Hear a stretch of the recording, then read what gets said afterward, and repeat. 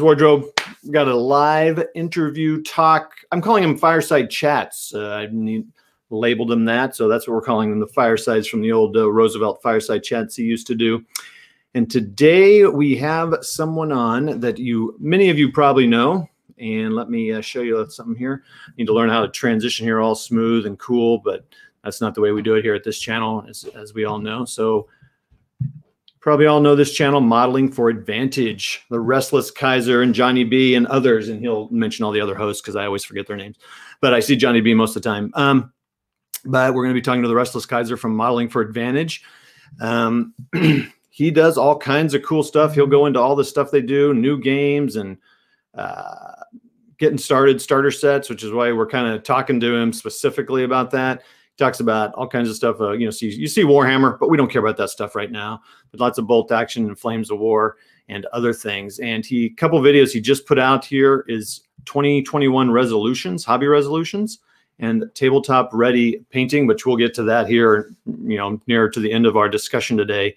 Um, so everybody, uh, let's uh, welcome the Restless Kaiser, modeling for advantage. Hello there, folks. How is everyone tonight? Happy New Year to everyone. To you, Restless. Happy New Year, sir. How are you and yours then? We're good. My wife just popped in said it's starting to snow, so it's a it's a winter wonderland. Hmm. Whereabouts are you? So we're in the middle of uh, the U.S. We are in uh, St. Louis area, St. Louis, Missouri area. And we have some people commenting. I just told you we could see all the chats, but I'm not seeing them on there. But we got Gun Barrel on here, my arch nemesis. They, ju- they just pinged into my feed there. oh, there they go. Bam. Boom. So, yeah. yes, uh, Gun Barrel and I have gone, been going back and forth uh, for years. Um, we owe one of us owes someone two dollars. I don't know. It's from a movie. Um, right. Better off dead. So we if you go back to my and his older stream, like older videos, years six, seven years ago, you see some really weird stuff going on there. Me crawling on a car asking for two dollars. Me putting, uh, hey, Rich John, me putting models on a waffle. I don't even remember why, but I put them on a frozen waffle. That was how we based my model. I don't know. Don't ask me. joke at the time, which is now lost on you. Yes, but it was hilarious. I'm sure.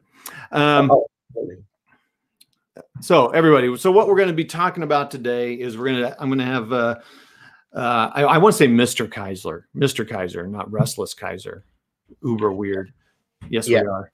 But um, we're going to talk a little bit about your channel. So why don't you give us a little bit of idea what the modeling for advantage is, what it's about, kind of what you cover, how long you've been doing it, why, all that stuff. Welcome all viewing, by the way. Just post comments in here so we know you're there. So I see Jens from Tabletop Generals has just joined us. Just some great stuff. Oh yeah, they do awesome stuff.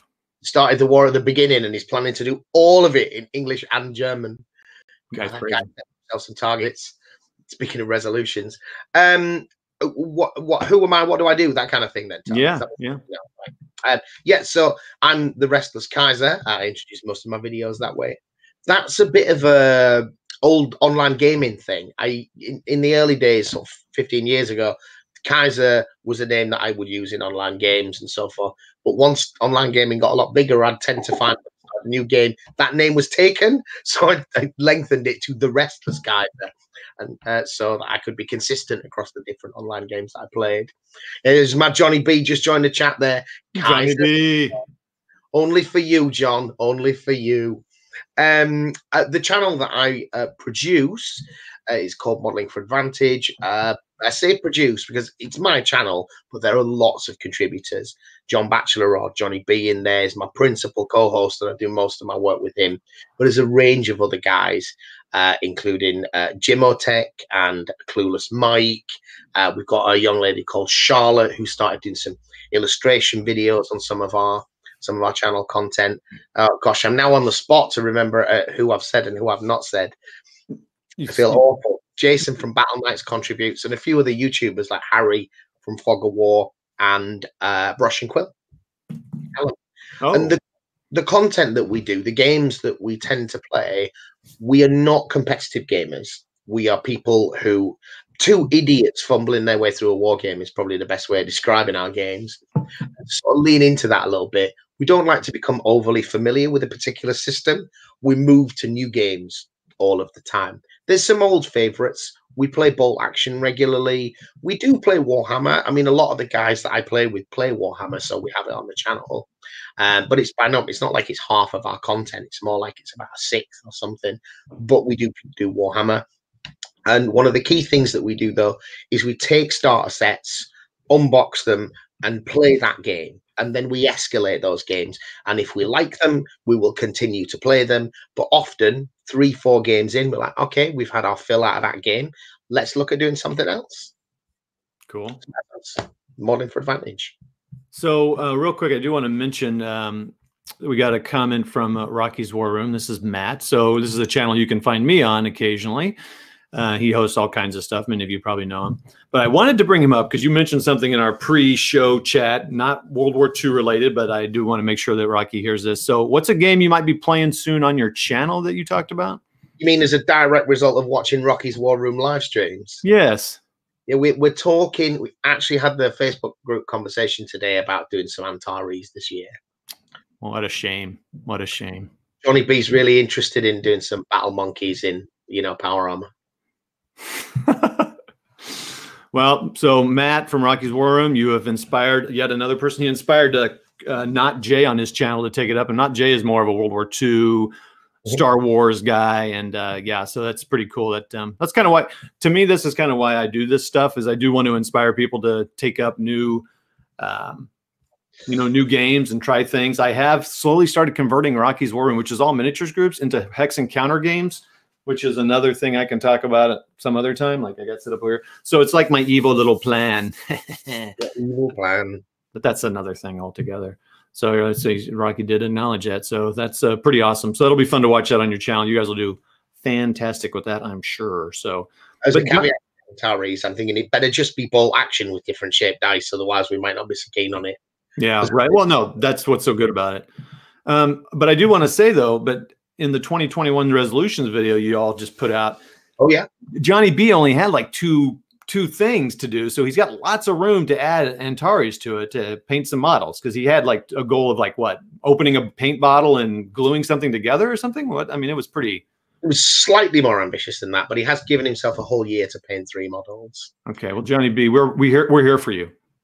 John likes to think of his uh, approach to painting and building models as being comparable to World War II production methods, actually, as we're talking hmm. about World War II.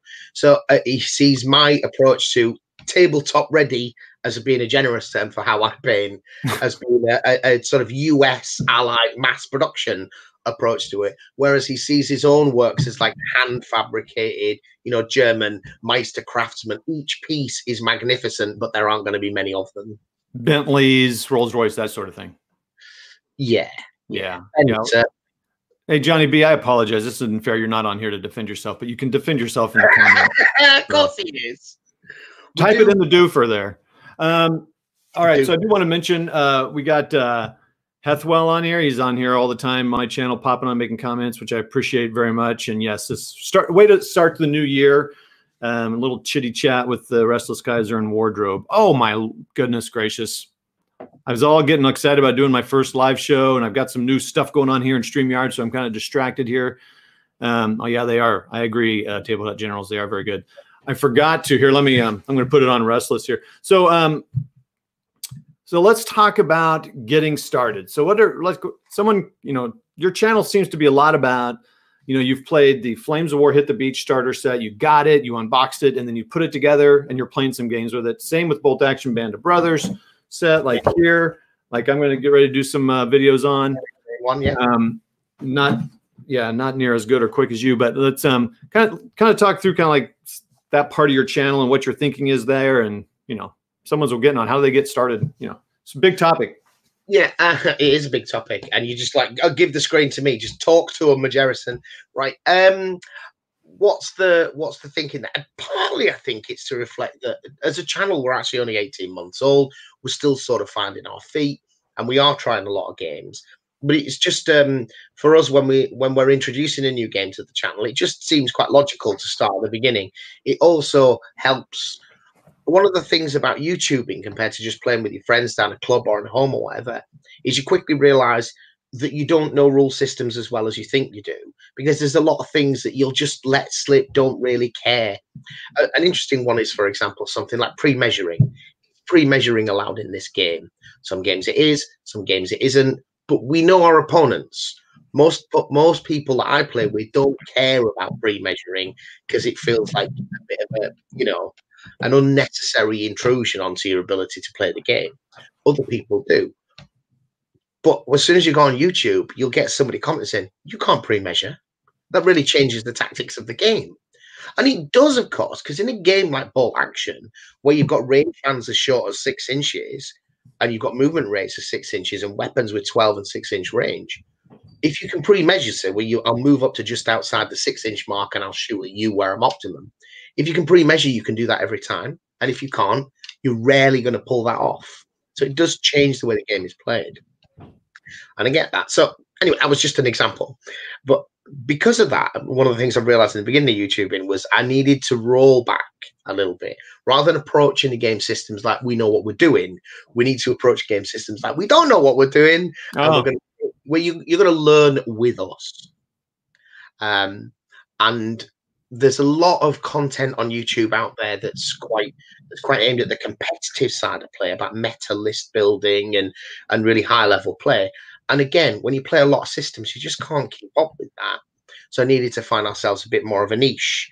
Um, and so beginner casual games is very much what we're about. So we take a start set and we play it from the beginning and build up the armies from there based upon model availability and the sets that come out rather than you know going to great lengths to find some third party piece of awful resin because it's a really good unit in the game mm, yeah, you know, yeah. we don't do those things but a lot, a lot of people do Yep.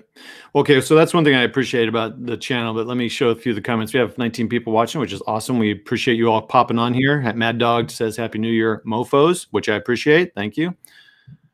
Uh, maybe Johnny B could come on your channel, Matt. I bet he could. You could probably pay the Kaiser a little bit of a finder's fee to let him come on your channel for a second. Oh, Johnny B is is is for hire for the face, absolutely. Okay, beautiful. Um, he's rocking a bit of a John the Baptist look now because of the Corona thing, though. He's not he's not shaved in a year now. I think that's 2020. I know we're in 2021, but we'll see some uh, bleed over here. So we got Duncan FX on there. Hey, thanks for popping on here. Appreciate that. Um,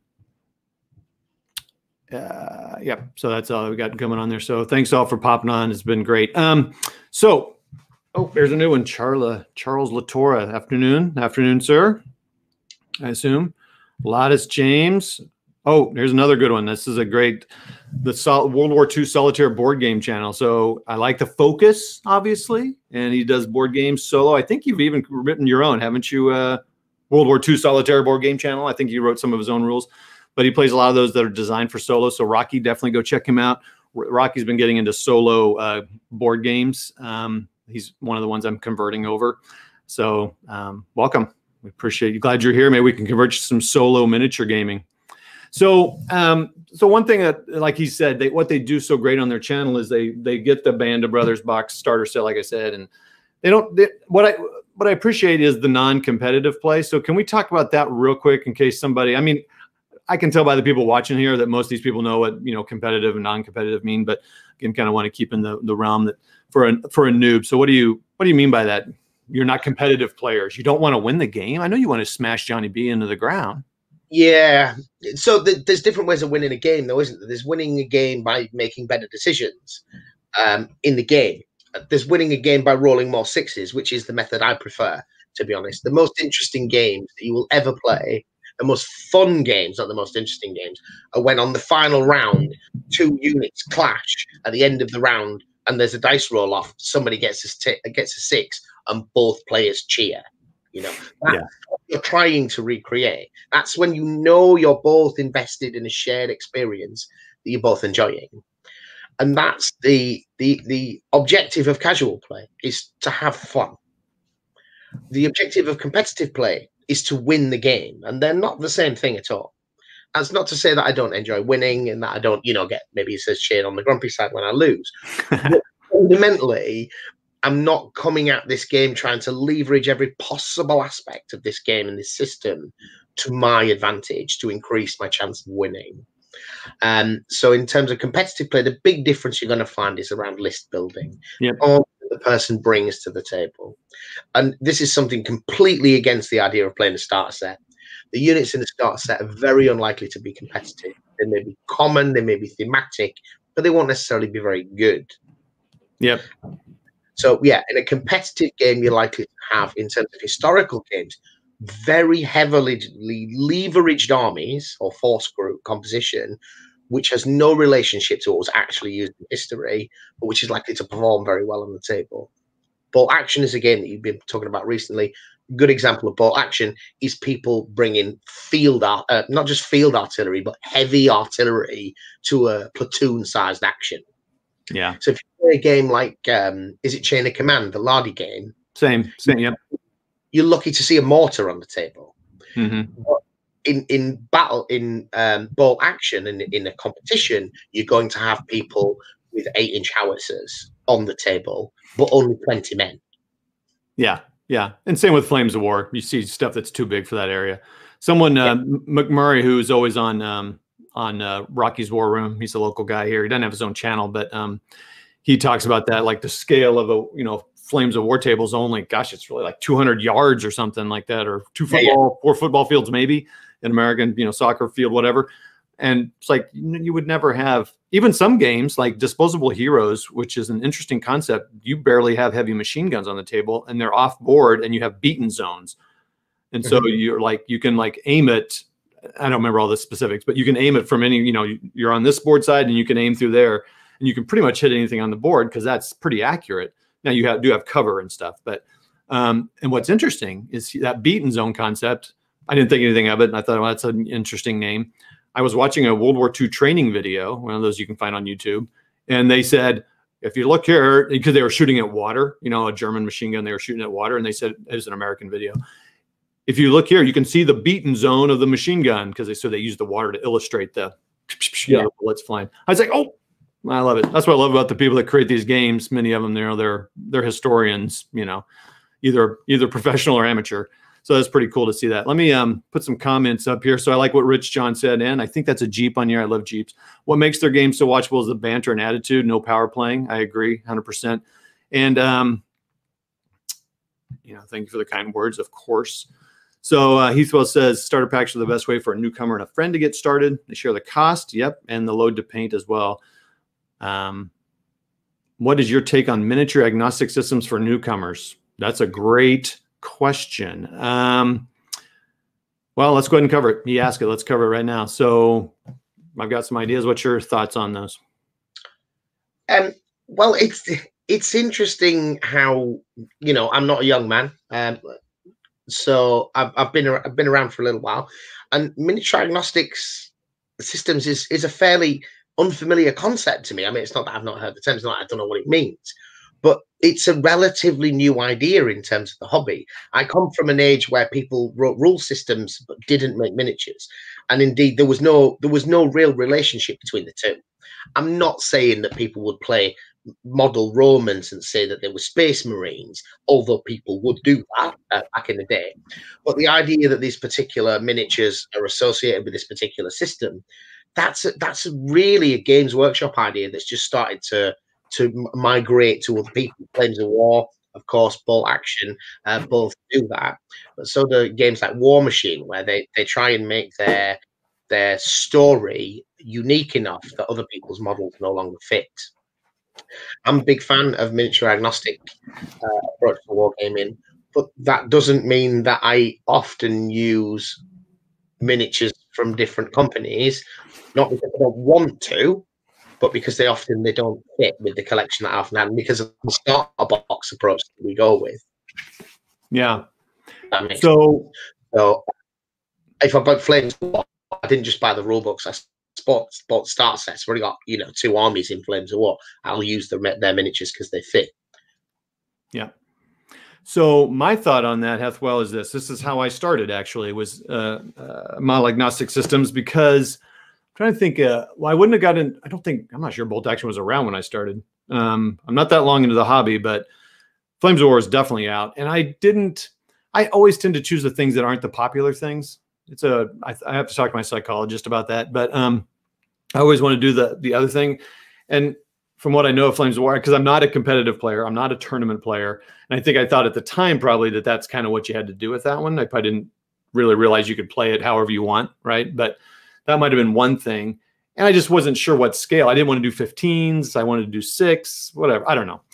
Um, and the rules I had played were command decision um, with a group of local people here, which is an agnostic, you know, I mean, you can play it in any scale, often played in 15 here locally. Um, so that's kind of was my introduction to it. So I just started searching for rules, kind of focused on the size of game I wanted to play. So I was really used to playing uh, tactical war game, board war games like like Advanced Squad Leader. It wasn't that one, but like it, where each counter is yeah. a squad.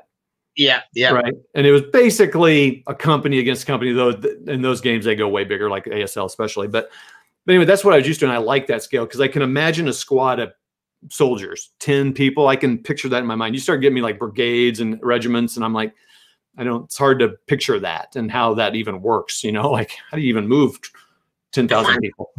Found that really interesting though, because I'm totally opposite to that. Although because of the size and scope of the games that we play, I often play skirmish games. In terms of immersion, I find it a lot more difficult to grasp the the the, the way that, that, we're playing the game, the god mode nature of playing a war game. I, this model is going to do this, and it's going to 100% do that because I want it to. That to me is so much more understandable and credible if you're talking about divisional level tokens. That I, am Eisenhower and I am saying this division is going to attack Aachen on Friday, that's credible. But if I'm playing a platoon level action or a squad level action, say, I can't make John do that because that's dangerous and he doesn't want to do that. right. Do, on some level, that guy is 90% autonomous, 10% directed. But the division that's 90% directed, 10% autonomous. Right. So for me, an immersion thing, hmm. find that.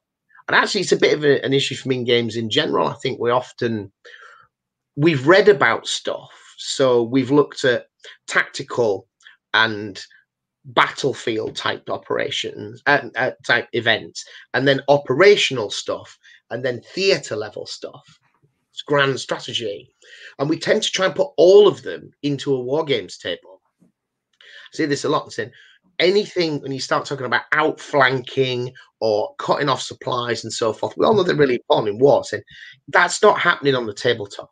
That's happening on an operational level. That's what happened before we got to the battle that made a battle happen here under right different, you know, under different circumstances, we wouldn't be fighting here. That is what made the scenario we are now playing. Yeah, right. So that's that's perfect. Um, so so just real quick back to the so that's how I started was agnostic because I was looking for squad. That's why Flames War was interesting to me because it's kind of that level, sort of.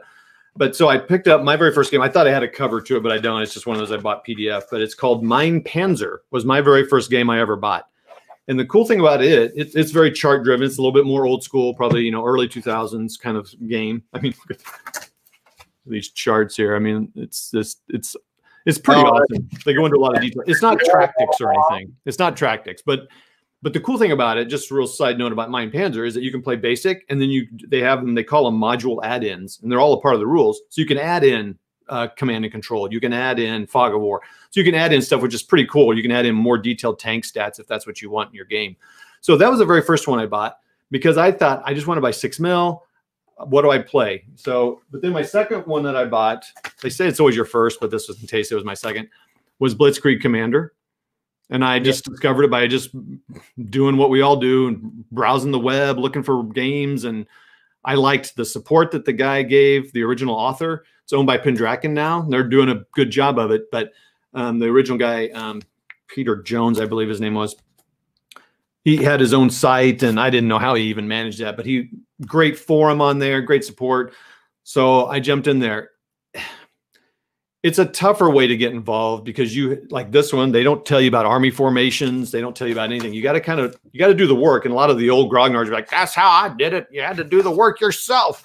And I hate Flames of War because they spoon feed you. I'm like, dude, why make it hard? You know, I mean, it, so I, that attitude is most definitely changed for the most part. I think. I think people are okay with the concept of kind of feeding a little bit because that. I mean, but I I got in and started that journey, and here I am, and I love it, and it's all great. So, I guess my to answer your question, Hathwell, is it's a way to do it, and it gives you a lot of freedom. And the cool thing about World War II, and I always want to emphasize this to people, because and I have people, I hear people ask this. We just had someone ask us recently, can I use such and such miniatures for bolt action? You can use whatever you want for bolt action. Absolutely. So. yeah, yeah and and you, I definitely want to clear that out of people's minds. So if you buy those Flames of War minis and you base them, like these are some I bought from somebody paint, but if you base them like that, you're like, well, I don't want to play Flames of War anymore. I guess I better sell them and buy some others to you know to single base. Screw that noise. Use this yeah. thing and just mark them off. And There's one area where you might run into trouble though, isn't it? Is basing. I mean, basing is a is a uh, real uh, generator rabbit hole. War games. Um, but I did. Um, I thought show and tell. Since yep. we mentioned feature agnostics, and I do tend to tend to stick within the the scale that the game was intended. Um, but a good example of looking at that and thinking, well, this isn't going to work for me is Black Powder. I wanted to do some American Civil War stuff for a while. Um, 28 mil American Civil War just doesn't work for me. It's like my my my house is not big enough to fit yeah. let alone my spare room. Um, so I started looking at other options, and actually, we've got some. These are. Can you see them? It's Kallistra Confederate Cavalry. Are they mm-hmm. showing up? Okay? Yeah, it's showing up pretty good. Yeah. So these are these are actually 10, 12 mil from Kallistra. Um, not at all the scale in which Black Powder was intended to be fought in. But we played a few tester games recently, uh, you know, just over Zoom and what have you, and it works just fine. They're, the important thing about basing a miniature size is that you, they're the same as what your opponent is going to use. Right. So if I'm using 28 mil World War II figures, you need to be using 28 mil. It doesn't matter if I'm using Black Tree and you're using Warlord. Correct. But it does matter that we're both 28 mil and we're both broadly on the same base size. Right. That I would agree with. Yeah. So when I was doing my series, I, I kind of mentioned that, but you also, you know, I was really trying to be super flexible. Like, you know, I don't want to be too prescriptive to anybody, man. It's your game. You play it how you like. But yeah, it's good to it's good to stick to a scale to scale at a minimum.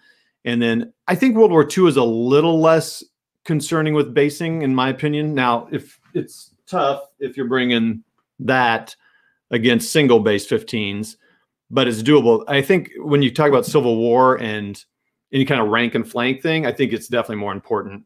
And it also yeah. depends on the rules on how you like when you close assault. But um, but let's look at a couple of comments here real quick uh, from the back. So story over result. Yep, that's kind of what we're talking about. Oh, I did want to mention. Um, I don't know what this means. I'm just going to just put it there and then get it off there because I don't know what that means. so ID Jester, uh, great channel. He just he does sports and fantasy and wargaming. No min max attitude. Agreed. Um, he, plays, he plays counter games. They've got the min and the max on the counter, right? Yeah. Yeah. Exactly. Um, so I think, um, you know, uh, Matt, you know, we he he definitely is a we like to play story. We've been playing a lot of games on his channel um, and on Jay Wiley's channel. It's a game I mentioned called Bigger Battles. But Jay Wiley, it's a complete sandbox game. So this even goes even further back, like Hathaway was talking about. So like Blitzkrieg Commander is a World War II rule set, right? So it's designed to be World War II, whereas something like Bigger Battles um, uh, is you can play anywhere from ancients to you know space marines.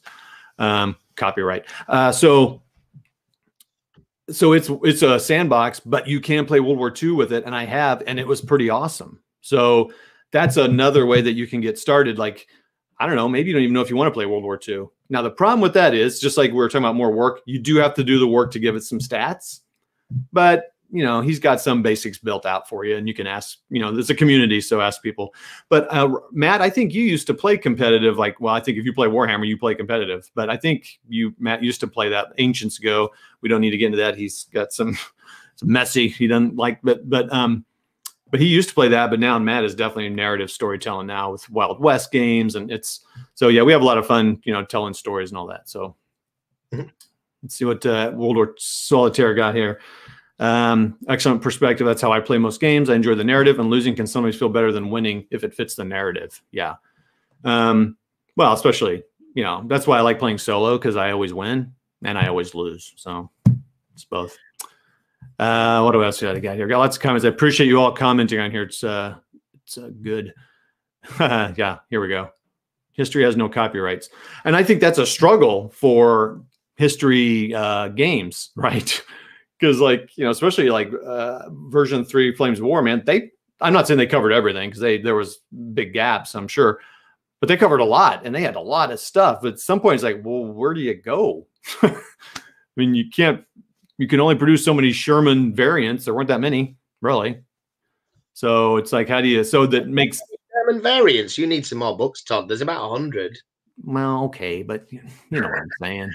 Come on, you need to be a pro to tell the difference, mind. Yeah, well, true. And then that's when you can get into something else, like, oh, it's the wrong Sherman. Like, oh, okay, sorry. Let's see what. uh Oh, oh, I got, I got. Let me go back here a little bit. I'm kind of getting behind here. This is awesome. Um, morale rules. Yes. Yeah. And I never play with the morale rules, but you can add them on. So that's pretty cool. Mad Dog, it's cool to see someone else has played Mein Panzer. There aren't very many. Um, that's another thing when I was doing that uh, series, how many rules are out there? You know, like, holy mackerel, there's so many rules. And I didn't even list them all. I mean, there's no way, like, you go into War Game Vault, forget it. Um, and the ones that are no longer, I'll say dead, meaning they're not printed anymore. Um, yeah, that's true, John. But it makes painting easy. Going to jump into BKC4 later this year. Oh yeah, modeling for advantage. That's right. And have enough 10 mil left for some tiny chain of command. Oh, you're you're brave soul. 10 millimeter chain of command. That's pretty cool. But I have seen people do it, and it looks pretty awesome. Uh, let's see here. It was born on the table in the, as a rank and file Empire swordsman. He went through the you're the Empire. Oh, that's funny. That's awesome. Yep, that's cool. Good story. Yeah, I've taken a mini and kind of having it grow. So people who've been playing minis for a long time. So, um, uh, so you're 18 months in as a YouTuber, uh, Kaiser. But how long you been playing? Oh well, you know that's one of them conversations, isn't it? When precisely did it begin? Um, was it was it watching the Dungeons and Dragons cartoon when I was like six or seven, possibly? Mm-hmm but certainly in terms of those really, really early memories, I was. I don't. I couldn't tell you the first, the order in which all of those things happened, but certainly by the time I was in middle school, which would be like ten, I had the Dungeons and Dragons red box set that I was that I was playing indoors. You know, when the when all of the the rough kids were outside in the playground, yeah. I was indoors with my paper and my twenty sided dice, traced the artwork from that uh, red book. Um, and that was an interesting story in and of itself, really, because uh, this is just really old school stuff. But um, the local pub, as in you know, a place where you buy beer. Yeah. This is this is getting on for forty years ago now. They uh, they put like a penny on the price of the beer for a month because my I come from quite a poor working class background, um, they put a penny on the price of the beer, and they bought all the kids of all the families of the people that use that pub amazing Christmas presents and took us on holiday for one year. Uh, just wow. something that they did, and of course, so what happened was that members of this pub staff were suddenly given like, "What's your kid into?" They don't really know, and they had to go and try and find them that presents that they just wouldn't normally be able to afford. So I've got this really mixed haul from the local hobby shop of of like some BattleTech stuff, a Dungeons and Dragons starter set, some ninjas. It was just it was like this stuff is all amazing. I didn't even know this shop existed, but somebody else had put the time and the effort into getting me started. Wow. So think that's probably where that where that came from. I think that's I was a cool story. yeah, yeah, and I, and I don't know whether you see those kind of things. That sort of that sense of community spirit. Um, mm. You know, I mean, can you? they could do that in the supermarket, right? So we've got food banks in the UK because we've got a real poverty crisis at the moment. So yeah. well, Sainsbury's could put a penny on the price of a loaf of bread and probably solve this problem in a heartbeat, but no one would like that. Yeah. Yeah. Yeah. That's a that's a pretty cool thing though. I mean, so that so that just kind of started the Dungeon and Dragon and those miniatures kind of got you fueled and you just kind of have grown. So you've been playing kind of off and on since then? Yeah, different different types of games at different play points. So that was that played a lot of role playing with kids at school because it's really low equipment equipment low. I certainly was then. Um, and then uh, miniature gaming played down the local war games club with people who would let a sort of 12, 13 year old play with their figures. So that was the guys who played games that nobody else wanted to play, like Stargrunt, uh, when everybody else was playing Warhammer, you know, like some Jon Tuffley game or um, something like that. And then didn't really miniature game at university and then got back into it again, maybe 10 years ago, maybe five years ago. Okay. I can do it more, more seriously. Yeah. Um, so yeah, Mad Dog, I think that is where they're uh, located down there, and they could use some more. Uh, this is the people that produce Mein Panzer and a uh, naval war game. Are they General Quarters? I think. Anyway, um, it's a good one here. It all began in the backyard sandbox when I was eight and didn't mind using cat poop as trench lines. Sorry, I shouldn't have did that while you were drinking that drink there. You might have spewed That's on the computer. But yeah, exactly. You'd use what I mean. I had Airfix figures when I was a kid, and you know, I just thought those were the coolest. You know, they're so much better than those just army men that you bought. Those green yeah. jank things that were. And yeah, before that, I'd done Airfix kits where you, you know, your fingers stick to it and there's just strings of plastic glue everywhere. Fingerprints on the model. Yeah, the clear canopy was totally cut, you know, glazed over. right. Uh, and before that, lined up little army men and flicked them over with my, you know, friend from next door when I was very young. Yeah. done all that as well, yeah, obviously. Yeah, I um again. Yeah, I, I just and I never used any rules. I ne- so I and I would also go to the library in the city town where I was from and get um Featherstone and um uh, Donald Featherstone and who is he? Charles Grant books, mm-hmm. and look at these pictures, usually black and white, of these, you know, typically Napoleonic type of era because those look really good in pictures. But the, I mean, but if you look at their tables nowadays, I mean, you look at their tables in relation to nowadays, man, their tables were super simple for the most part, right? I mean, it was. I mean, the hills were just kind of bronk, and they had like two trees for a forest, and they're building for a city, and but I still thought, man, that is the coolest thing. But I also thought, there's no way I can do that. I don't even know. I don't. I, I don't even know how to do that because there was. I didn't know anybody. I was kind of a recluse kid. Like, who can imagine? I play solo games as an adult, but um. So you didn't build yourself a papier mache war games board then with poster yeah, no. paint? No, I oh, bought. Oh, you missed something that you need to do that. I don't know about that, man. Put square and you have your little Airfix army men on it. That's awesome you definitely need to do that. Look at the space behind you. You can do that. Yeah, I got tons of room. Yeah. But anyway, I did Airfix figures and I, I, just would like, and I would buy the 172nd scale models and I would build them. And I, I don't even think I painted them because I was like, I can't paint them because I would get like Scale Modeling Magazine, right? Well, who can paint like that, right? I mean, those people yeah. are artists. So I just wouldn't do it. And what's so funny, like I said, and I mentioned this in my video, when I was like 40 or something, and my friend was painting up his uh, Space Hulk minis, because he used to play Warhammer in college, but then he realized he needed to pay for college and have a life. Um, he got out of it, but he still had that skill set in his mind. So he thought, oh, I'm going to paint these Space Hulk minis. And as I watched him paint, and this always sounds weird, but I realized, oh, it's not that hard, really. I mean, it's it, you know, to to just apply paint is not that hard. Just to put it on, and it can look good.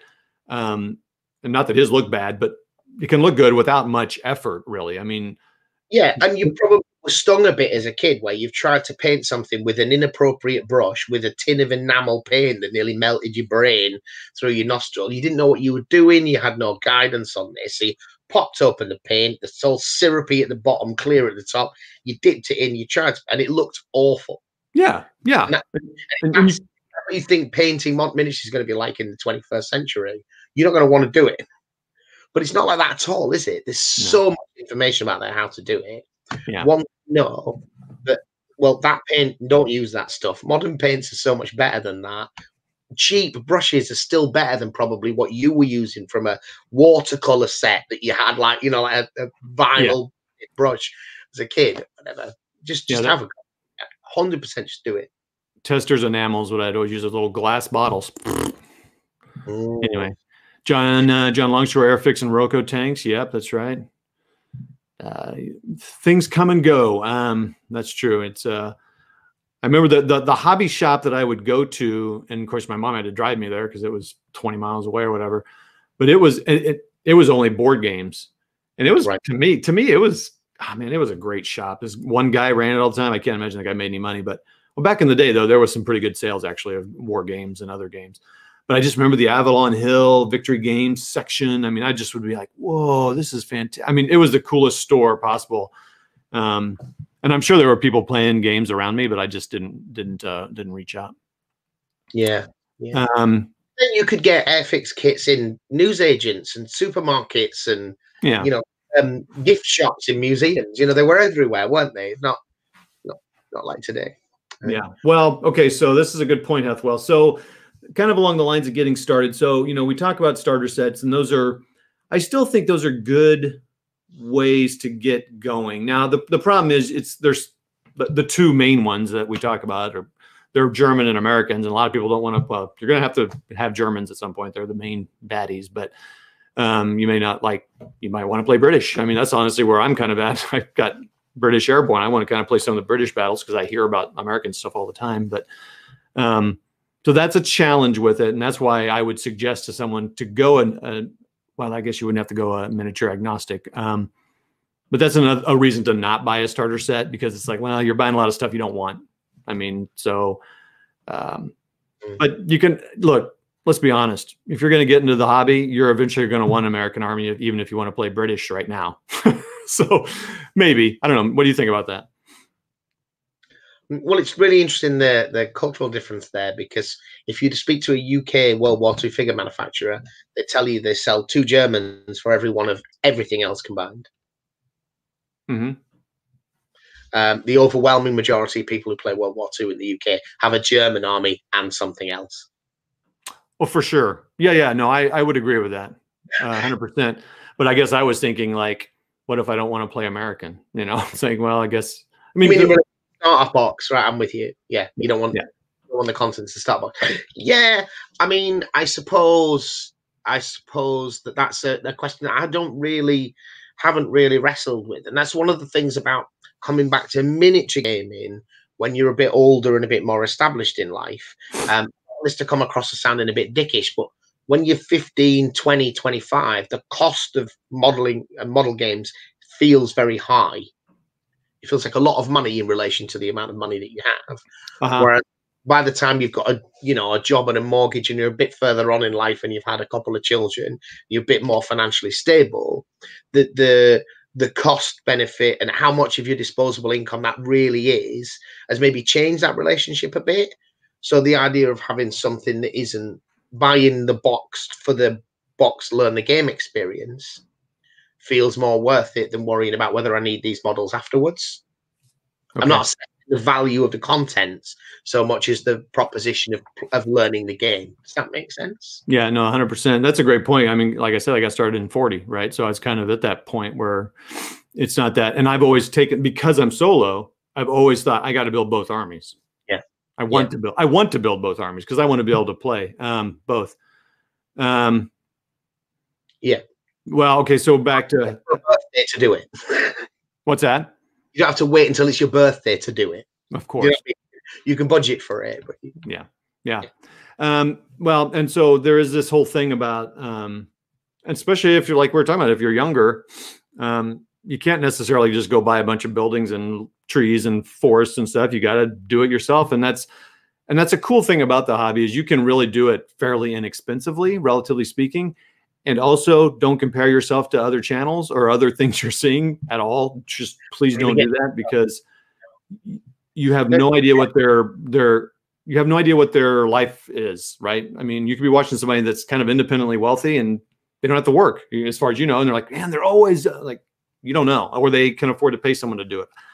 So it's hard to you definitely don't want to do that um, get in that trap although we all do it right yeah, but from that money perspective, though, that's I think one of those areas where where the the less competitive you are as players, the less that matters. The, the more competitive you approach your gaming, the more you have to chase certain armies, certain units at certain times, and you end up pouring money into chasing the meta. Whereas if you're just playing for the game experience, you're perfectly happy with the units that came in the starter box. Right. Yeah. Yeah. I mean that. Yeah, and that's a, I would say that's a well it's somewhat an advantage of not being competitive player because you're not always trying to build that latest list. But then again, the one reason I it's a struggle I've had, and I still struggle with a little bit when you're buying it like I do, like historic and all that. It's like, what do you buy? I mean, there's like a million things you can buy. And if you look at the, you know, any army list in any book, I mean, most of this Blitzkrieg Commander book is army lists. And I don't mean lists in like, it's just like what did the British Army have in Italy? I mean, a lot of it's repeats, of course, but there's a lot of crap in here. so it's like, what do I, what do I get? What do I focus on? My my best modeling times is when I had a convention game that I had to get ready and do it, and I was able to, you know, I, I had to do it because I I had made a commitment, and we can talk about that about the 2021, you know, what we want to see happen in 2021, because um, I'm kind of hopefully doing that again. So. So there's Mad Dog there. Let's see what else we got. This isn't also an option. Yes, just play everything, every scale. P. Bacchus says, you know, you're gonna have 10 scales anyway, so just you know, deal with it. Um, oh, oh, that's just wrong, that, but probably accurate. Um,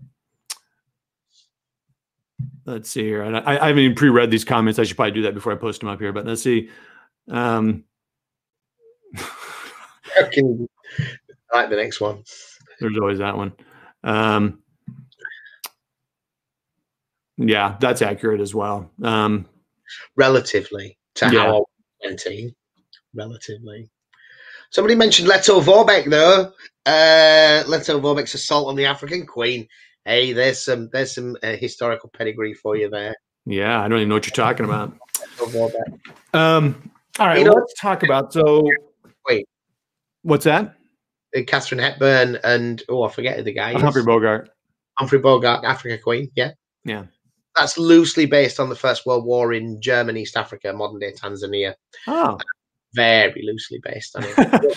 there was a situation because I love this story, by the way, is why I want to talk about it. It's totally unrelated to what we're doing. And so it's a German colony in 1914. The other German African colonies are overrun within about 12 months. But this chap, this German colonel, Lettow-Vorbeck, puts up a fairly rugged defense. Um, is one of the greatest um, recorded military disasters. Was our first attempt to invade. Um, was it Dar es Tanga? Tanga. We tried to make an amphibious landing. It's a complete disaster. And he fights for two years in Germany, East Africa, and then he retreats out of Germany, East Africa, and fight this guerrilla war. He actually surrenders a couple of days after the armistice. He's still he's still fighting, mm. and it's hmm. not more of a story about man against environment. It really is about the battles, but it begins with some pitch battles. It's also the the kind of proving ground of Jan Christiaan Smuts, who would go on to be one of the South African um, presidents and a man of great fame. He's the is he the air minister? He's part of the Committee of Imperial Defence in World War II, but you know, in Britain. Huh. He's a South African uh, so it's a really important people involved in this campaign, and they're really good stories about people just doing stupid things in difficult environments and then improvising. Wow, cool. He, does he play? Is he come up in the movie at all? I don't know. I haven't seen that movie in ages. I I can't remember. I think it's more the fact that they're they're they're there. I got you. Okay. Yeah. Yeah. Let's just say here? Yeah. I hope that's true. Well, you were the one that was talking about World War II and then was on about your personal struggle, which I think maybe the title of a certain book. Oh, well, geez. yeah. All right. Um, all right. Well, let's get back. So we've talked about starter sets and kind of getting started and, you know, uh, it's, um, but let's talk now about um, some of the extra stuff. So having the minis, right, buying this box set and you know starting to build these build these guys up, right, is one thing. Yeah and but you, you need something to fight over, fight for, right? So um, let's talk a little bit about uh, a little bit about that terrain about tables, terrain tables, whatever. Yeah, I think the biggest, the first major obstacle that you maybe not entirely prepared for as a new war gamer is the is the importance of having a play space, of having a war game, having a table or having some terrain. Even if you're playing like, you know, 10 years old on your kitchen table with the guy from next door with Airfix models, you still want terrain. Um, and it's really going to change your game experience. Very few starter kits come with any. And I think that that is something that they're starting to wake up to. You just got the bolt action kit. Yeah. Absolutely. Two sprues of scenery. I think it transforms the value of that kit to give you a genuine game experience. Immensely. Immensely, especially if you're new to that scale. But that particular scenery that you've got there, there's very little of it, but it's a nice little piece in the middle of the board to fight over that's going to break up the battlefield a little bit. It actually makes two small, doesn't it? One like you've got there and one really tiny demolished. Yeah, a, a ruins. Yeah, yeah, like any ruins. Yeah. yeah, and especially when you uh, glue it incorrectly. But let's not talk about that. I'll cover that in the video.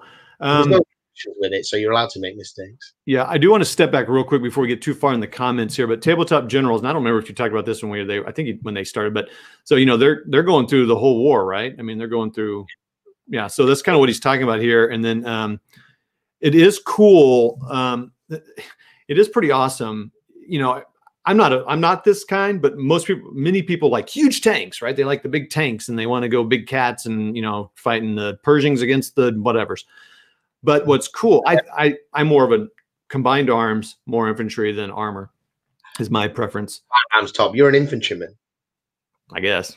But yeah, um, so I like to think of myself as a general, you know, someone. Uh, I'm kind of a, I'm I'm an idea man. So anyway, um, I wear a robe for crying out loud. So then, um, but what's cool is if about World War II, and you know, it's an amazing story. If you start in even before 39, if you start over in you know Russo-Japanese Second War, um, yeah, if you start off in that, the the development of the weapon systems and even some of the tactics and army structure is pretty cool. So you really have a really huge journey going here. And uh, tabletop generals, you know, they do. I, I can barely get videos out in, in my in my native tongue of English. These guys are putting videos out, I believe, in German and English. Um, I'm not going to say I'm mad at you for doing good stuff, but you guys, forget it. But anyway, go check out Tabletop Generals. They're really good. I'm subscribed, and when it comes up Deutschland, I just li- I sometimes I'll even watch them in German just to kind of see okay, because if I know the rules, I kind of can follow along a little bit. And you know, when they say dice, I'm like, oh, and I'm sorry, I, I butchered, uh, you know, Deutschland. Anyway, um, yes, I can just order food and drink in Germany, which is a really useful skill. Yeah, there you go. My son took four years of it. Um, too many scales is my middle name. Um, oh yeah, there you go. Ice and fire delivered to the commission payer. That's a, that's a good way to do uh, ice. You know, some games. I have paid people. So if you're getting into it and you do have some extra income, you know, I get it. You know, like if I budget right, I have paid a couple people to paint, and um, it's fantastic. I mean, because they're so much better and and they get done. So if, if you can, I, I like that. Some people like painting, but go ahead, sir. I was going to say on the subject of commission painting. So this is again, you know, dangerous than that's something like the hobby is a really expensive thing. If you're going to pay a commission painter, you should expect to pay at least five pound a figure, and that's going to vastly increase the cost of your hobby. But by there's, there's commission painters, and then there's your mate who doesn't have some money or wants these models, And maybe you can swap the other half of the models from the starter kit and paint your figures, for example. Yeah. There are other ways of thinking about how you might be able to get some of your figures painted by somebody else other than just going to a website and paying five to ten pound a figure. Yeah. Well, people in your hobby community who will do some of that work for you in exchange for models. Yeah, well that that is true. I mean, that let's most people like like the you know some of the guys I've talked about that I know around here. The the idea concept to them of playing solo miniature games is just mind blowing. Like, I don't even know how you do it, and that's and honestly, that's pretty more accurate. That's really the mainstream because they're designed for two players or more. And I get that I'm kind of the oddball, um, but um, you really can do a lot if you come together as a community, a local community, and because I've heard this before. Some some guys love building terrain and painting them. Good, cool. Todd, you do the terrain. Kaiser, you do the models. Johnny B does the tanks. You know, Matt does the forests. And you, if you do that, because everyone's got got their interests. Or maybe I love building the models, but I hate painting them. Well, cool. Give them to me to build. I give them to you to paint. So I've heard a lot of people do that. I just don't do that necessarily. Um, I think the problem is we all like buying the models, and we all don't like some of the steps between then and playing the games. Amen. I mean, I got to tell you, I, I didn't we start talking about terrain? What happened to that conversation? We'll get back to it. Yeah. Building these bolt actions, you know, uh, first of all, I, have already uh, preached it a million times. I would pay someone to paint my army and build my terrain if I could afford it. So the thought of building and putting a head on a dude and a hand and a gun and maybe even his little knife, you know. But I'll tell you what, Yeah. these have not been bad to build. I've been very happy with how easy they are, relatively speaking. There's some of so that's a starter kit. There's another thing to bear in mind about starter kits is they have carefully selected the models and the items that they put in there. The full range is not like that. Okay. Uh, so, for example, um, I have been working on last year some bolt action Soviets. These are they're plastic frame warlord bolt action infantry, but they're very different from the Americans and Germans that you get in that starter kit. In that each arm and the weapon is separate. Now, as a modeling proposition, trying to line that up, that is very diff- very very different from one where both arms and the weapon are molded together and you just glue it at the shoulder. Yeah. Some of these are that way, actually. There's there's options for it, but you can make every single model in that kit never having to align the three part. It's the thing with plastic glue is lining up all three Yeah. parts. It's impossible. Well, Well, it's impossible to me. Some people love that. Um, and that Yeah. brings us to one of the points about the difference between modeling kits and wargaming kits, I think. I think a lot of mo- war plastic stuff went down the model kit route of making them increasingly more complicated and have started to roll back from that. Yeah. Although some people love the flexibility that provides, a lot of people don't have the time, effort, or skill. Yeah. A friend of mine said, if you buy a kit and it says advanced modeling required, it just means it's a bad kit. yeah. Um, so Kent's Paint Shack, and Kent does do some really good stuff. Started commission painting four figures, and sometimes I, sometimes I still do. So I do want to mention the people I used for commission painting, Curtis and British Legion, Nick. I I knew them both, meaning they're both ongoing guys that I have talked with for years. Uh, I would Nick, you know, Nick and I, British British Legion, and I've been talking for almost as long as I've been on YouTube.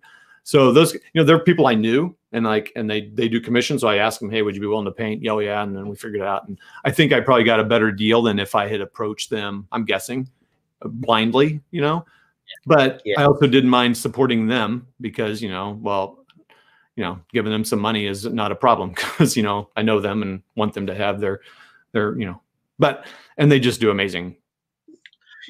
The thing the thing with commission painting as well I mean, it's is it, it seems it seems like a very poor value proposition. Thinking okay so i bought these miniatures they ended up costing me one pound 25 a miniature or whatever. And then hand it over to a commission painter and he wants 20 quid a model. Thinking well how long do you think excluding materials and everything else how long do you think it's going to take him to paint that one model? Translate that into an hourly rate what does that look like? It takes him two hours to paint your model that he spent that he charged 20 quid for. He took a top line of, of 10 pound an hour. He could he could work in a petrol station for that kind of money. well, Well, John, yep, John, you're right. There is something to be said, and I'm certainly not against that. I I do not begrudge anyone painting, and yeah, you're you're 100 percent right though. Yeah. If you um you do paint them, and it's good learning, and you do realize again, it's not that hard. Really, you can do it. Um, Should we go back to terrain though? Because you've got yeah, our maybe we should do that. In fact, if Still uh, and we're like an hour in. Yeah, I know. So let's talk about. Um, oh, hold on, man. We got some quick some quick comments come up here. no, dude, Whoa. I, I have painted some of those PSCs together. Mm-mm. I'm not doing it again. 15 mil. Yeah. Who wants that? No, it's crazy. I remember getting those, and they're. I remember going like, "What? Are you serious? Like their little head and the gunner, like, oh, screw that." In 10 more years, I won't even be able to see whether the guy's got a head or not. and I, I agree with Kent on that. So, so uh, we'll, we'll- let's leave it. We'll leave the commission painting at this comment. I mean, I painted, the, I paid those two guys because it would get done, and guess what? It did, and I've got them now because it would have taken. I'd still be painting those things. So, all right, terrain, and uh, if you wouldn't mind, I'm going to actually, um, I'm going to pull up. Let me see if I can do this here. Hold on, everybody. Uh, uh, please hold as I change, and then I'm going to I need to step away and um, take care of some business here. If you want to start kind of talking about terrain. Terrain, yeah, terrain. Is going to. Oh, right. I didn't know that this is what you were going to show. This is not. This is obviously not pro planned. Well, I um I will show the, the the building here in just a minute, but I wanted to show kind of what a finished one looks like. Right. Cool. So, um, you're showing one of our bolt action battle boards at the moment, yeah? Yes. Yeah. Um, this is one of our first bolt action games, actually. Uh, what what can I say about this? This is is interesting because what we've got under there is we've got a vinyl mat, was one of Johnny B's vinyl mats. So if you look in the kind of foreground at the the, the floor, that's that's basically a, a PVC grass mat. But the way we approached doing our bolt action boards was to is is to try and cover as much of that as possible, but still having something underneath that would suffice as ground. Um, that's a bit more sort of multifunction. So, like a lot of uh, people have seen, we've got a couple of doormats in there. It's coconut hair, I think, or horse hair, and you just they're, they're literally just straight from the shop. They're going to cover a, a nice big area. You can do things to make these look better, but the trees are John bought these. They're like eBay jobs. He's got loads of them. They're from China. Individually, those trees are actually pretty nasty to look at. yeah. Um, with a bit of clump foliage on the base and as part of a sort of blended board, it looks okay. The two buildings, I think, are the Renedra. I think that's the Renedra barn. Um, and the hedges are just clump foliage built, blocked on lolly sticks. Individually, almost any of those components, apart from the chickens and the pigs in the little pig pen in the bit in the middle, they're not actually very nice to look at. But what works with that board, I think, is is how much of it there is, um, and how impactful that will be on the game to give you an overall effect rather than looking at individual pieces of scenery. Um, we actually that's quite an early board for us actually. Um, moving away from that a little bit now but it was a kind of a place to start. Just as a side note, as a scenario, this one is is actually an ambush, and it feeds into one of the things I'm quite feel quite strongly about in wargaming is scenarios representing um, historical situations.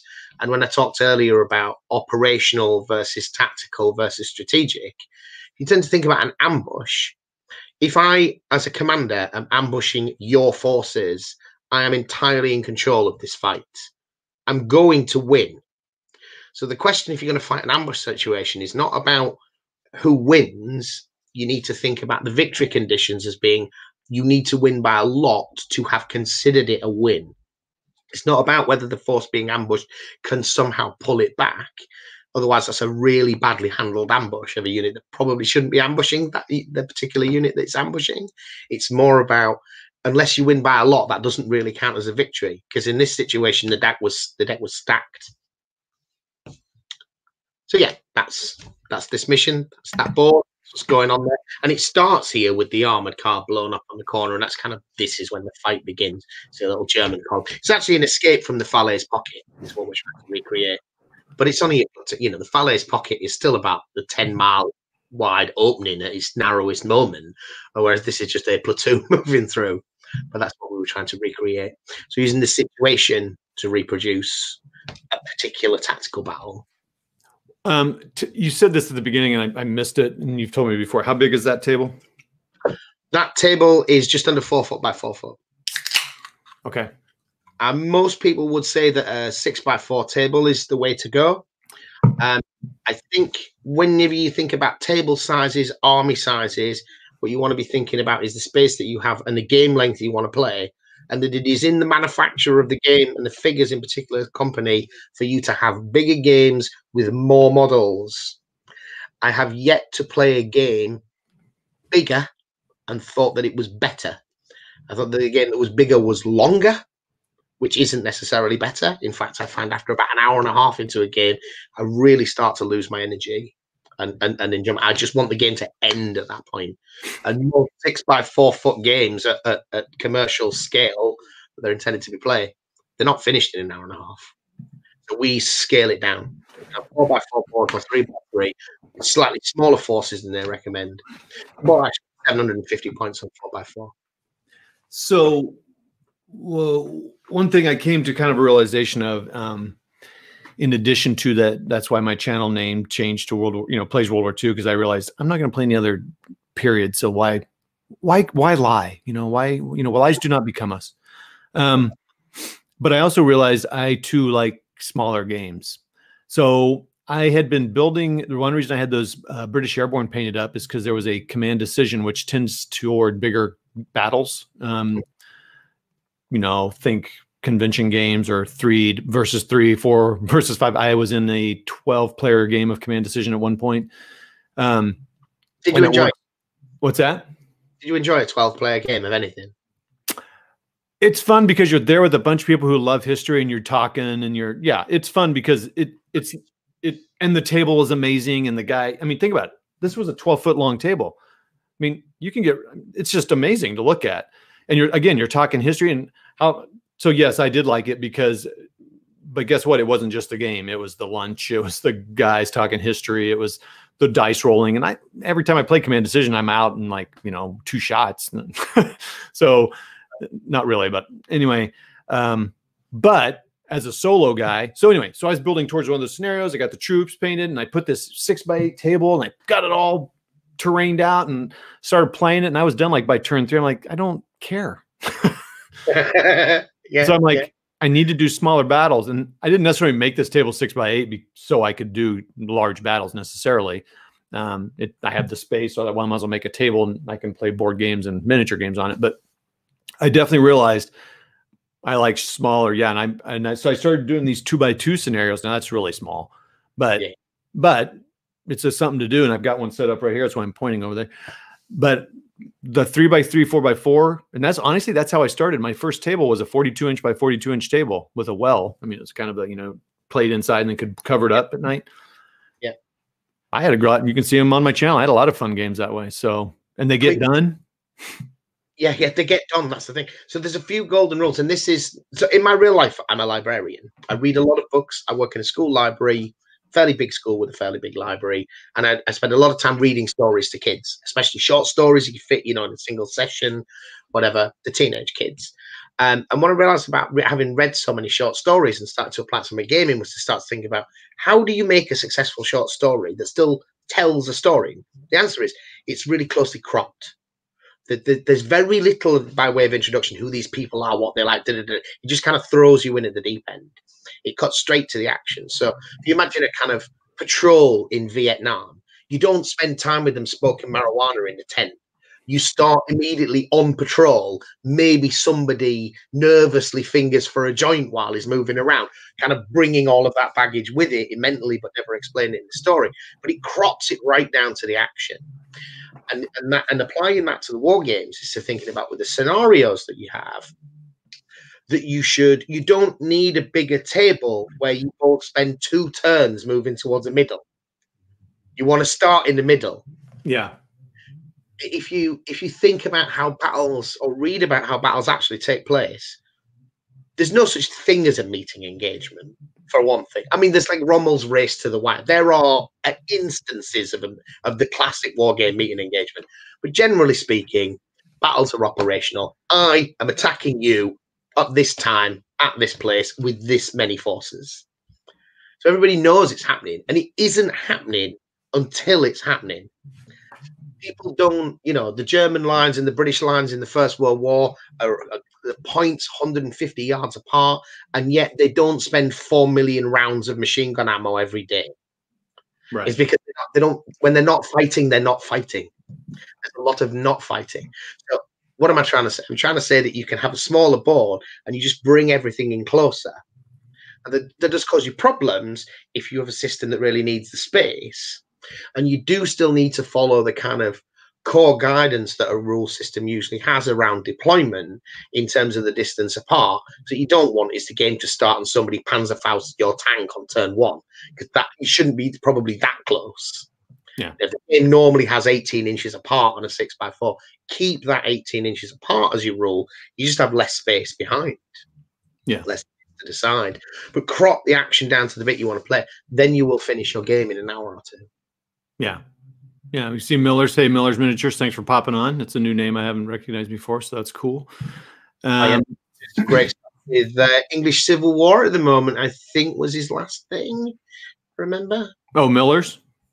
Yeah, yeah. He started a few months ago. Maybe, right. maybe. Well, go check out his channel. I didn't know it was a channel, so I'm making a note here to go subscribe. Um, good point about game length, throwing a newcomer. Yep, and yeah, it's if it's there, you kind of get a, a something to completion. So that's pretty cool. This is fantastic. I don't know 12 people. Um, ah, Yeah, amen, brother. Um, let's see here. Is there another one about? Okay, so just want I want to go back to tabletop generals. They're kind of talking about because I, I I mentioned talking about losing, you know, getting knocked out, but I think that's kind of where this comes from. For the losing side, there should be a chance to win. Oh yeah, definitely. You can do that with points or uh, victory point locations or you know battle kills or whatever. Definitely um, scenario design. I think a lot of the companies do a good job um, creating that sort of thing. Um, yeah, I mean, I played actually on that guy that put on the command decision game. He put on an amazing uh, Alamo game, and you know, there's not a lot there to think about as the Mexicans, but there is actually. No, I'm sorry, as the Texans, it was actually pretty fun. I can't remember which side. I think I was a Texan, but you know, shifting your defenses. I mean, you pretty much know the result. It's going to happen, right? Unless the, or as they say, uh, I, I, can uh, Isin Isindwalna or something. Is that nice? I'm trying to say Sandalwana. That's yeah. Rock's Tom. Yeah. So. uh. Oh, I'm not really sure what they mean, but yeah, battle group. Um, I mean, even if it's clear which side has to lose, you can make winning. Yes, 100% the yeah. scenario design, game design, all that. So, um, so yeah, I would recommend, if, especially if someone's new, and like I guess a lot of people here are watching the next second aren't necessarily new, but definitely go check out Modeling for Advantage's videos because you do see a couple of people having a very good time on a very small board. Um, and also, I, have mentioned him a few times, Kitchen Wargamers, fairly very new channel. And he's playing on his kitchen table, and I think it's four by four. It's two sheets of foam stuck to the top of his table every time. I think it's like a little little round, maybe three foot wide circle that he's got a board over. Yeah, I just started watching Yep. it because you mentioned it.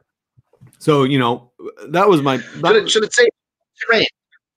Yeah. Yep, keep going. Because that was. You did see in that this is the, the kind of the first. If you have a piece of terrain, this this is probably the one of the first kind of things that you're going to build. This is just a piece of expanded expanded polystyrene with a bit of flock on it. It's been used as a modular hill. So this stuff you can make this stuff yourself really really cheap. It's going to get it's going to get you going. The next step that I would say to look at is because you can just cut this out of a out of a box that TV or computer came in, right? Is cheap trees from China. These things currently on, on places like Amazon and eBay, you can buy they're they're fairly poor quality when you get up close. You know, they've been mass produced, it's just flock stuck on some bits of stick. But if you mount them on a base and you put a little bit of clamp foliage on and so forth, you can get again they're not individually very nice trees, but when you've got lots and lots of these on a base or in an area, it starts to look quite good. So just similarly, these are some ones of the pine trees. These come in a bag of 50 for about $10. And to be fair, there's more than 10 on that one four inch base there. You do need loads of them, but on on bulk, they look quite good. What um, what what do you stick in those trees to? That's what I struggle with a little bit.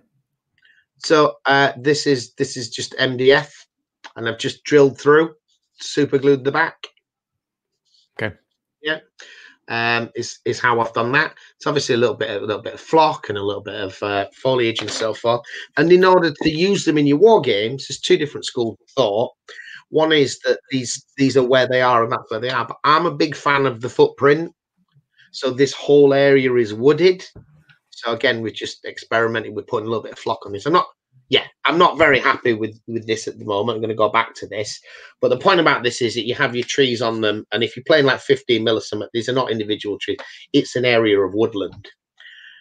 I actually have a bit of a bee in my bonnet about woodland in war games because if there isn't a path through woodland, you ain't getting in, and you ain't going through. if you look at the roadside, the next time you're driving and there's woodland at the side of you, you look at what the edge of that wood, wood looks like. It is absolutely thick with foliage at the edge. Inside the forest floor may be fairly clear, but at the edge of it, where there's sunlight hitting, it is just completely overgrown with bushes and so forth. You get war games rules that say you can see, oh, you can see two inches into the wood, you can see three inches into the wood. You look at a wood and ask yourself how many feet you can see into that. Of a guy who's actively trying to hide, I would go with nil. And how are you going to cross that, get into that? I don't think you can do it. I Maybe do that. I do that all the time when I'm out. My, in fact, my kids just when I whenever we go out to the country with the, the in-laws and stuff out where they live, I'm always like looking at stuff and they're like, "Are you looking at that like it's a board game table?" Yes, I yeah. am. Yeah. And that's 100% accurate. I mean, uh, like a line of trees, even like you know out here in the you know kind of like the bocage or hedgerows in France, we have that out here, but they're basically we call them tree lines. It's where yeah. farmers have planted trees to block the wind, and even with those, and those are just trees like bloop, bloop, bloop, bloop, but then you know years you can't even see past that. And that's one line of trees. So yeah, yeah you're 100% right about now they do vary. Some forests have are very thick and some you could drive a tank through and some you can't. So yeah, it and I I I play Blitzkrieg Commander most of the time where it's called impenetrable. So all you can see is the ones that are on the edge, you know. Yeah. Yeah. So it, it also makes it easier. I don't mind rules being simple, but I do think forests are one of those areas. And you, you, if you look at if you just look at the edge of, a, of an area of woodland, if there isn't a path going, and just ask yourself, can I just go in there now from here? And so without without tools, no, I can't. Yeah. There's stuff in the way. Or even if I could, I could just walk around it in so much less time. Well, yeah, yeah, yeah, hundred percent. So, just some of the ways to get. But in terms of your first bits of war game scenery, though, so it's about those cheap forest moves you can do you really need to think about what scenery is going to do for your table because it's quite easy to create. And that's why I think forests and hills are important. Um, but what you want out of your scenery at the at the very beginning is to break up the board into lanes to stop you having I've got my line of weapons over here and you've got your line of weapons over there and anything can shoot anything. You need to stop that because then it just becomes a dice off on turn one and it's about target priority. If you want to encourage movement, you need scenery fundamentally that blocks line of sight primarily, secondarily, ideally creates movement lanes as well. The more labyrinthine your battlefield is, the more effective your terrain is. You can have a million walls, hedges, rough ground, none of that terrain is going to have nearly the impact that a single pile of books in the middle of the board would have in terms of affecting what things can shoot at and what they can affect. Yeah. Um, so no, that's great about line of sight. You know, um, and Flames of War on a couple of their older books and stuff. I don't know where they put. I, I don't know where I've seen it, but they do a couple of cool things where they showed pictures of good board, bad board type of thing and like kind of how to lay it out, kind of where it's a little bit more natural, right? Because it's real easy just to throw crap on the table and like, there's my trains. Like, well, why is that river? That I mean, if you put a river in the middle of the table, you're not. Now you have like again, you're lobbing over the river if you can't cross it. So you have to kind of think through like also yeah. places where you can't even game. Like, well, you just made that area where it's ungameable, which is fine. Maybe that's a point, but intended. Yeah, but intended.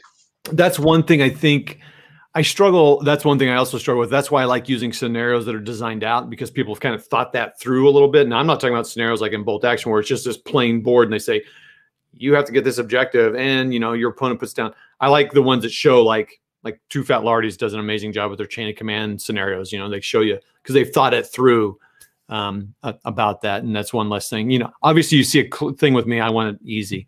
Um, let's, I want to look at a couple things about um, uh, about this. I kind of had this up here for a while. So John's talking about a bag of green cloth pom poms, which are those like look like pom poms with their little green things. Um, yeah. You can you can lay those down. So if you're the cool thing about small scales, so um, I've done this uh, with six mil, and it usually works with six mil or smaller. But you get the clump foliage, so it's just that kind of foamy looking stuff, you know. From and here it's Woodland Scenics for trains and you can just buy a bag of that and you kind of clump that together and that's your woods you don't even need uh, what's it doodles you know you don't even need uh, bark and uh, limbs and, oh, and stuff, yeah, you can just have the clump foliage. Yeah, it's just the clump. It's just you know because if you're thinking about it, like especially if you're battling at six, and when I'm doing, and each stands a platoon or a company or something. Well, you don't. Who cares how tall the trees are? You're just you're kind of representing. So that's another thing you can do. Um, yeah, so that's another way to make woods. And my things were made out of felt. You know, I just went and bought felt at a fabric craft store and cut them out. This one yeah. I painted um, and it kind of the cool thing about doing that, it kind of stiffened it a little bit, so it kind of was a little bit. But yeah. you don't even have to do that. But that didn't take much; just a little bit of green paint, put a little bit of flock on it. I learned that actually from what would Patton do, which is a channel I miss. But um, anyway, that's one way of doing it. Use and so I've got gray felt, blue felt, and and, and that's a great way. That the original picture you showed from one of my games with the videos. The first, the most important thing with your foot with your terrain is that the boundaries are clearly defined is that this type of terrain works like this, this type, and, and you can do that with with felt, like you said. Just put put this down. That's rough ground. You know, you can build towards improvements later, but at least it's clear what each section is, and it's easy for the models to interact with them. And I did six mil Napoleonics. I had little cloth green squares for fields. Yeah, that was a long time ago. Yeah, looks good. So you know, like those Chinese trees that you bought, and I probably need to clue in and get some of those and um, get the MDF and do some drilling but you can make those look even better, like just even a little bit of spray or a little bit of glue and flock. You can make those trees kind of tone down their plasticness if that's yeah. important to you. Yeah, the winter ones look, that I did looked a lot better because because I was able to deal with that a little bit. We sprayed it from the top, just misted it with white spray, okay. and then sprinkled on a lot of the white snow flock that we use, and they looked so much better because there was more layers to it. There was more texture. That's cool. So Miller asks, so would you suggest in certain games that if you wanted to access woodland, you would have to roll to see if you can break through to woodland, for instance, having engineers clear a path? 100%. I mean, you know, Flames of War tries to mimic that with a, you know, oh, breakdown or whatever they call it now. So, uh, well, this is about rules design. So I just talked about realism and forests. I am not a fan of overly complicated rule systems. I would in answer to that question, I wouldn't favor a system like that, but that's because I feel it's adding layers of mechanics to a game. I think the reality is that it should be quicker to walk around the woodland and go through it. You're right, and and that and that makes a channel that you could create a lane of fire or a defensive point. Um, so Miller, how I would approach that is it depends on what you're battling out. So I'm a I'm a historical, so I'm always looking at historical things and how I'm going to battle it out. I don't I'm not a I have a hard time playing games where I just get the two armies together and build a table and go at it. I need some kind of context and story.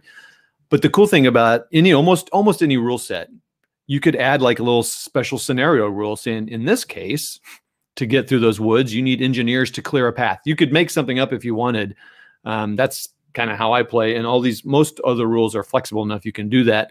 And it makes that particular scenario come to life and represent the situation. You're going to do it in every game you play of whatever, maybe not, but you so, could. I can't speak for outside of Europe, but I can speak for North Northern Europe, certainly on the subject of forests because again, I think it's a bit it's a little bit misunderstood. And this is a very poor representation of forest. Now, if you've been to a forest as an adult, you've probably been to a forest that's run by a forestry commission and is forested. And that's not what a natural forest looks like at all, or even one in the 1950s look, as in something where they plant the trees and then they cut the trees down 50 years later, and they've got their whole thing is, and there's there's different types of trees, there's fire breaks and so forth. That's not natural forest in any way, and that's not the kind of forest that you like because that is a forest. The kind of thing you're going to get in a war games table uh, is what you've got is areas of uncultivated land is what you've actually got.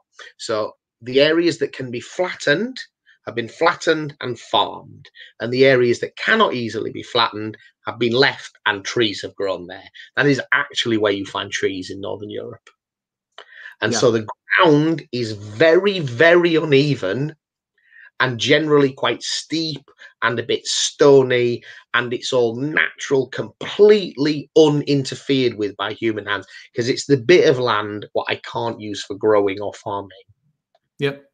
That's that's what's between the fields and so forth, and that's the stuff that all around the edges because no cultivating it, it's all massively overgrown. I'm not talking about um, as I said, a, a, forested forest, that something that's being chopped down and used for timber, that's going to be clearly accessible. But in terms of World War II, have you seen footage of the Americans in the Hürtgen forest? It's crazy. There's the, basically the entire army is trying to move up one road that they have had to build because because it's just not flat at all. Right. You know, it's it's really dense, it's really uneven, and that's a that's a fairly natural forest. But I think it was forested for timber. Well, okay, so yeah, and that's another thing to think about. Um, uh, real quick, Mad Dog, you're right. Even clear straight terrain. I mean, there's very little straight terrain in the earth. there's dips and dives. That's why I like a rule set that covers has that element, and even like Flames of War has it. When if you don't move, you are gone to ground, right? Or I don't. Oh. I, get, I get the two mixed up, but there's a little bit of an acknowledgement that if you're not moving, you probably can hide somewhere. I mean, uh, man, side notes, diversions like crazy. Like when I watch videos with body cams in Af- Afghanistan or something like that, I rarely see who they're shooting at right? You can't see people on a battlefield. I mean, a guy is quite small. Even a tank you can hide in some things. it's like it's crazy to me. If I watch tank battles where they're firing across, like what are they shooting at now? Understanding that film is different than real life, but anyway, another thing to think about though is like the scale that we're playing at. We stick with Flames of War and Bolt Action. You don't have time to clear woods out. You're fighting an action that takes place in ten minutes or something, you know, yeah. or thirty minutes or twenty minutes. I mean, it's it's a compressed amount of time until you start getting like Blitzkrieg Commander, where your turns maybe 15 minutes long, and maybe you're getting a little bit more time, but two hours isn't any time for an engineer to clean out a, a woods. So yeah, realistically, yeah, you're probably right. We probably shouldn't be going in woods, but there's something to be said with abstracting. Defend the defending player can be in the woods. He's had time to sort it out light infantry or certain unique troops can go anywhere. But I personally look at look at Woodland and think that this is essentially uh, impassable to regular troops carrying a normal amount of equipment. Not because it is impassable, but because it's so much more difficult than walking around. And that barbed wire achieves this effect in the First World War. You can cross barbed wire, but you're not going to try and do that if there is a gap in the barbed wire over there and everybody knows that. So they put gaps in the barbed wire and they land the machine guns up on it. it's not that you it's not that you can't cross the barbed wire. It's just it's ex- it's extremely slow. It's extremely effortful. You are under you're in combat. You are not looking to take the path of most resistance, even if it might be the logical one on a on a kind of god level. You're trying to get to where you need to get to. You're going to follow the clear paths unfortunately yeah. in your best interest but that that's that's what people that's how people actually behave i think well you know that's yeah i mean i one thing i struggled with as a as a newbie um, playing miniature games was the concept of ground scale and man scale and shooting range and i kept wanting to make it like exactly like if my 15 millimeter guy it must be represented it's like that's just not how it works in a, a, game because one your range like we were saying like flames of war you're talking about a 400 yard thing which is tiny like 400 that's no distance at all but um so you kind of that's important to kind of get that you kind of have to abstract some things out and like we're talking about with woods and stuff it's an you're having to I mean, if you wanted to play it realistically, it's going to be a pretty boring game because yeah. Yes, which is why I'm saying I favour impassable, not because I think that's more accurate, but because it's, I think it's better mechanisms to reproduce the difficulty. Yeah, is my thing. Um, yeah, you're, you're you're absolutely right there. Yeah. And that's accurate there. I'm going to look through some of the comments here real quick and see if there's something else. Um, uh, see, sorry. Um, oh, yep, here's some another idea. Actually, going to use some plastic card sheets for that. Cut into more. I think he's talking about woods still. So, hey, we don't call call us late, call us early. Just call us, right? So this is a this is a uh, board war gamer, hex to hex. He's been doing some. We've been kind of chatting back and forth about board uh, board games, war games. So I'm going to do a whole another time on you know board war games and stuff. But right now we're talking about miniatures. Um, Hey, Kent, uh, appreciate that. Um, so, anything else you kind of want to mention about? Um, I should just keep this one up here because it makes me feel good about what we're doing. Um, anything else about terrain you want to talk about? I mean, oh gosh, are we still only on terrain? Um, to to just think to me, when you make your terrain and you set up your boards, think hard about well, not hard, hard, but think about what actual impact it has on the game. Is there's a real? It is possible to create a lovely looking board with loads of items on it that don't really do anything.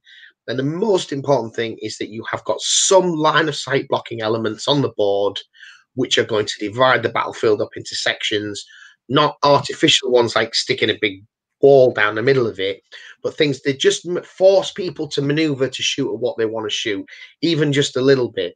And on a very simple level, just a big tower block in the middle of the board is going to do. If you've got nothing else, pile some books up in the middle of the table and let that do half that work for you.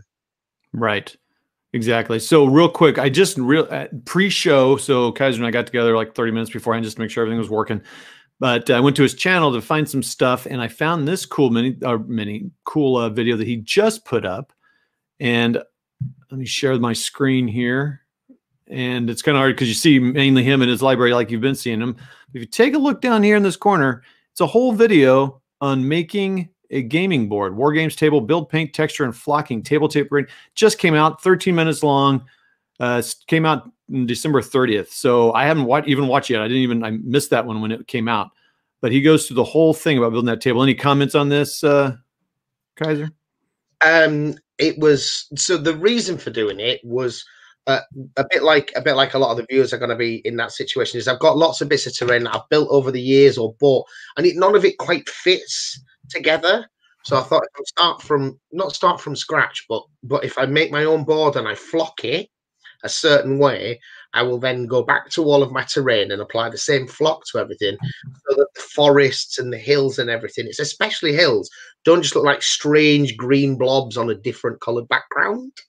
I really don't like the way that things like hills and forests sort of erupt from a board.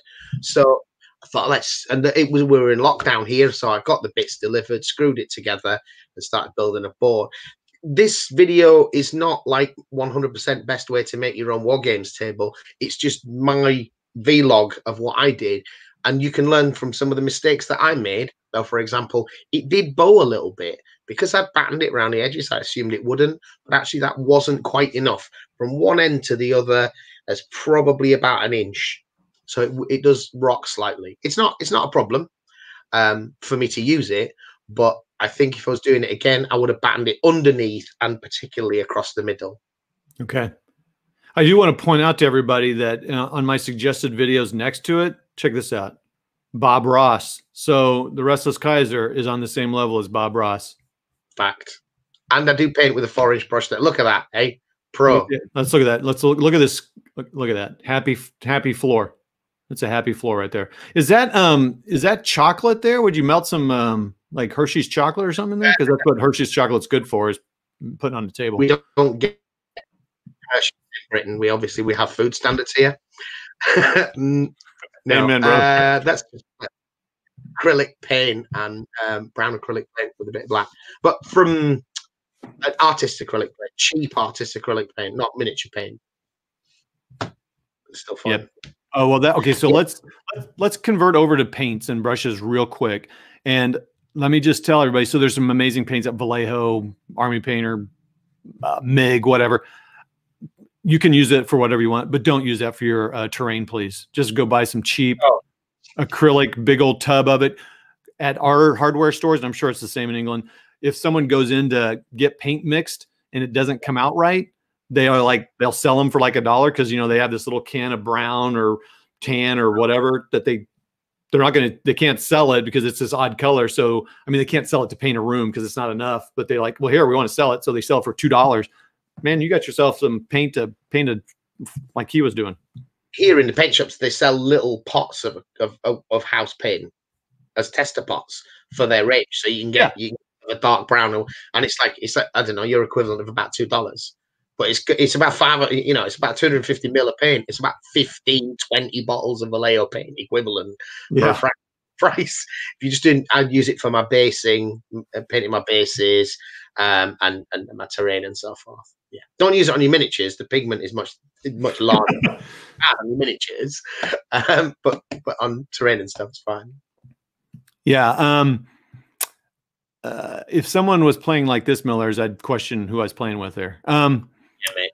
Uh, so craft paint. So let me just start with that real quick. So um, you know, there. So here we got apple barrel, and I don't know, you know, Miss Joanne's favorite paint to paint, you know, a kitty cat ceramic thing or whatever. Right. That paint is also good for painting, um, you know, like like these little Sarissa buildings that I have. So this was painted with craft paint for the most part. Um, Sarissa ones came painted. No, no. 4Ground 4Ground comes painted. 4Ground comes painted. I am a huge fan of Sarissa. Let me tell you why. Because 4Grounds are beautiful. I mean, they are amazing, but they are mm, fiddly. And we all know my my stance on modeling. They look amazing. The Sarissas go together. I have had very little very little problems with them, and they paint up fantastic. I think that looks great. I mean, I'm not bragging on my own painting. I'm just saying it painted up very easy, and it looks pretty good. Um, but the craft paint can be good for that because you're just kind of you still water it down a little bit.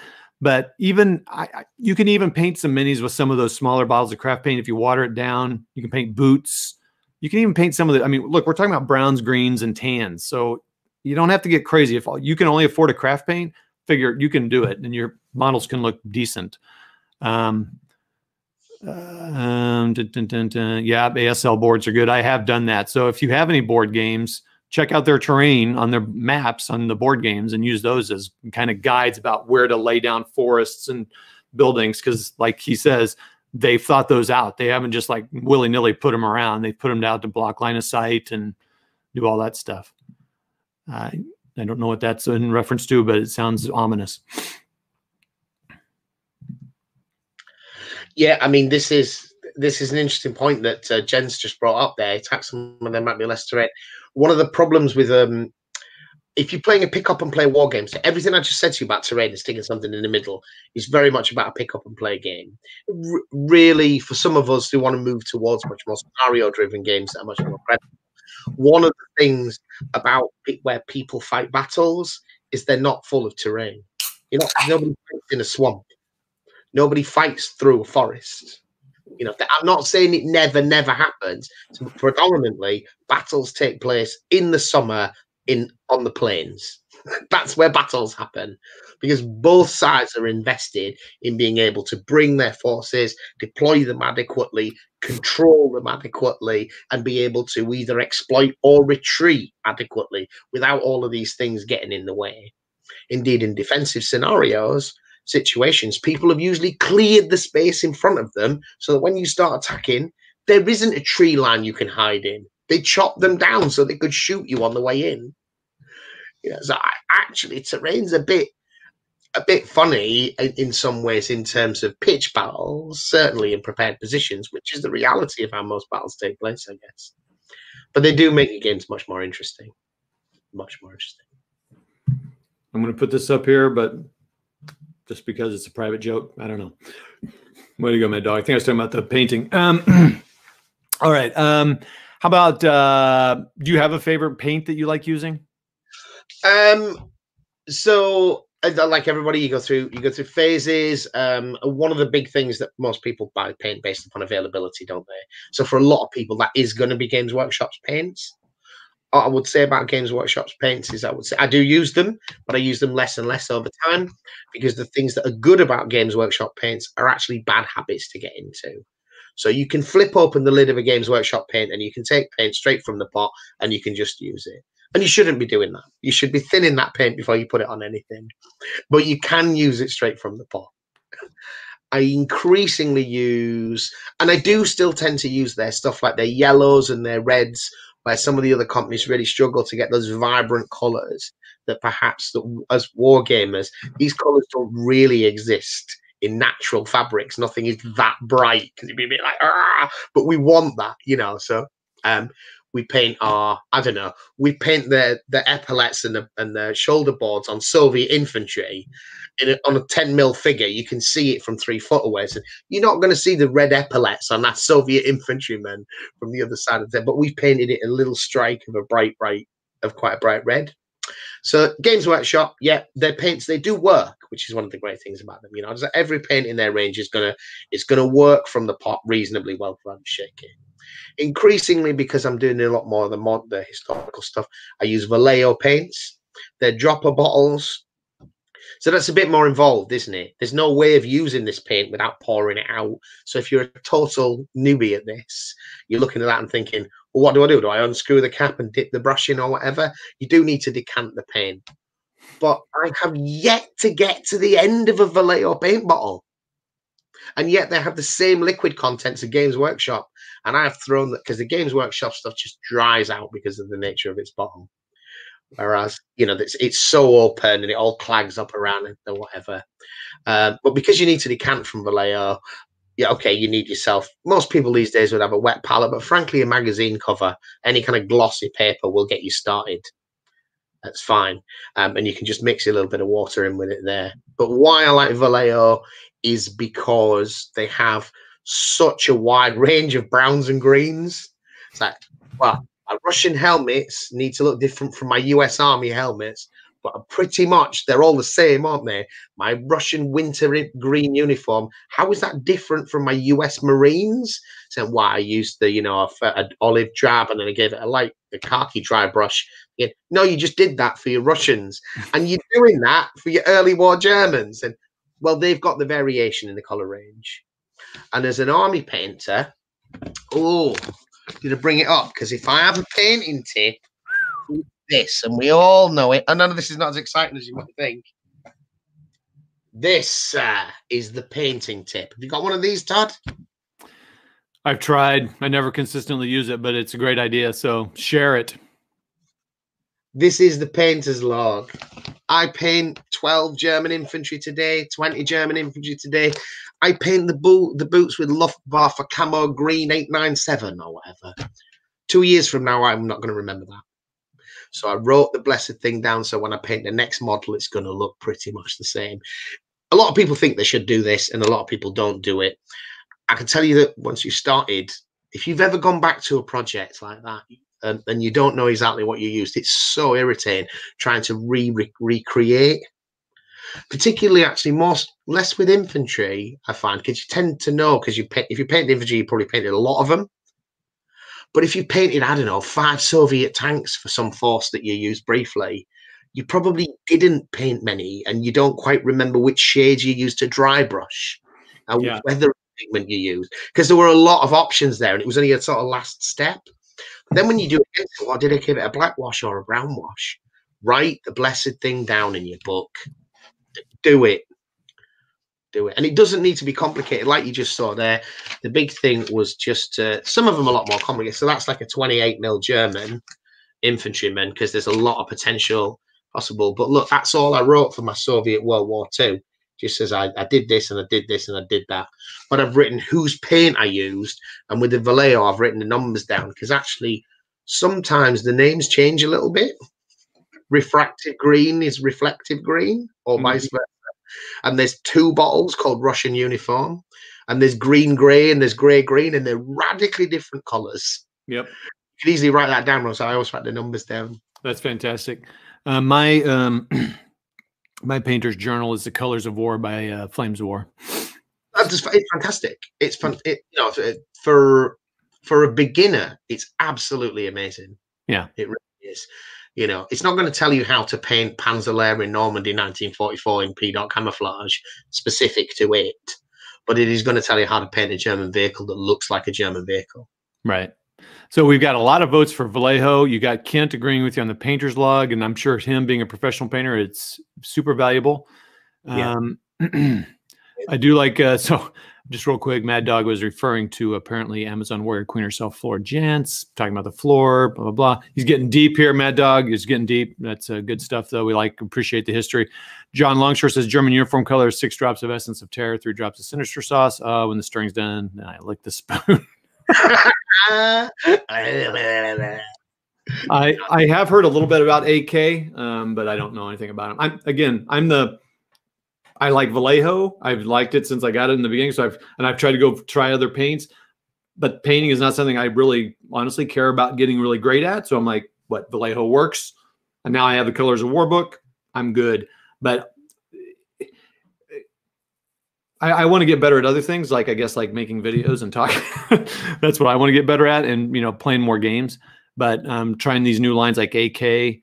Um, and others are good. So yeah, I think with with paint and in terms of that, you you need to experiment at your own pace.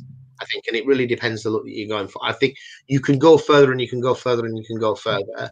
But for me, uh, you know, uh, what was important was to get a base from which I was comfortable. And that was about if I'm going to use a primary color, for example, a blue, a red, a yellow, like I talked, I, I probably use a Games Workshop one because I know it will work quite well. And I'm, and the Vallejo is more of the experiment for me. And then once I'm familiar with that, and I hear good things about certain P3 paints, and I might slowly introduce them. But the the stuff is really dangerous, and actually, I'm not that good a painter, and so my painting is quite fragile. I kind of, you know, I need it to work really, and I need it to. I need what I intend to happen.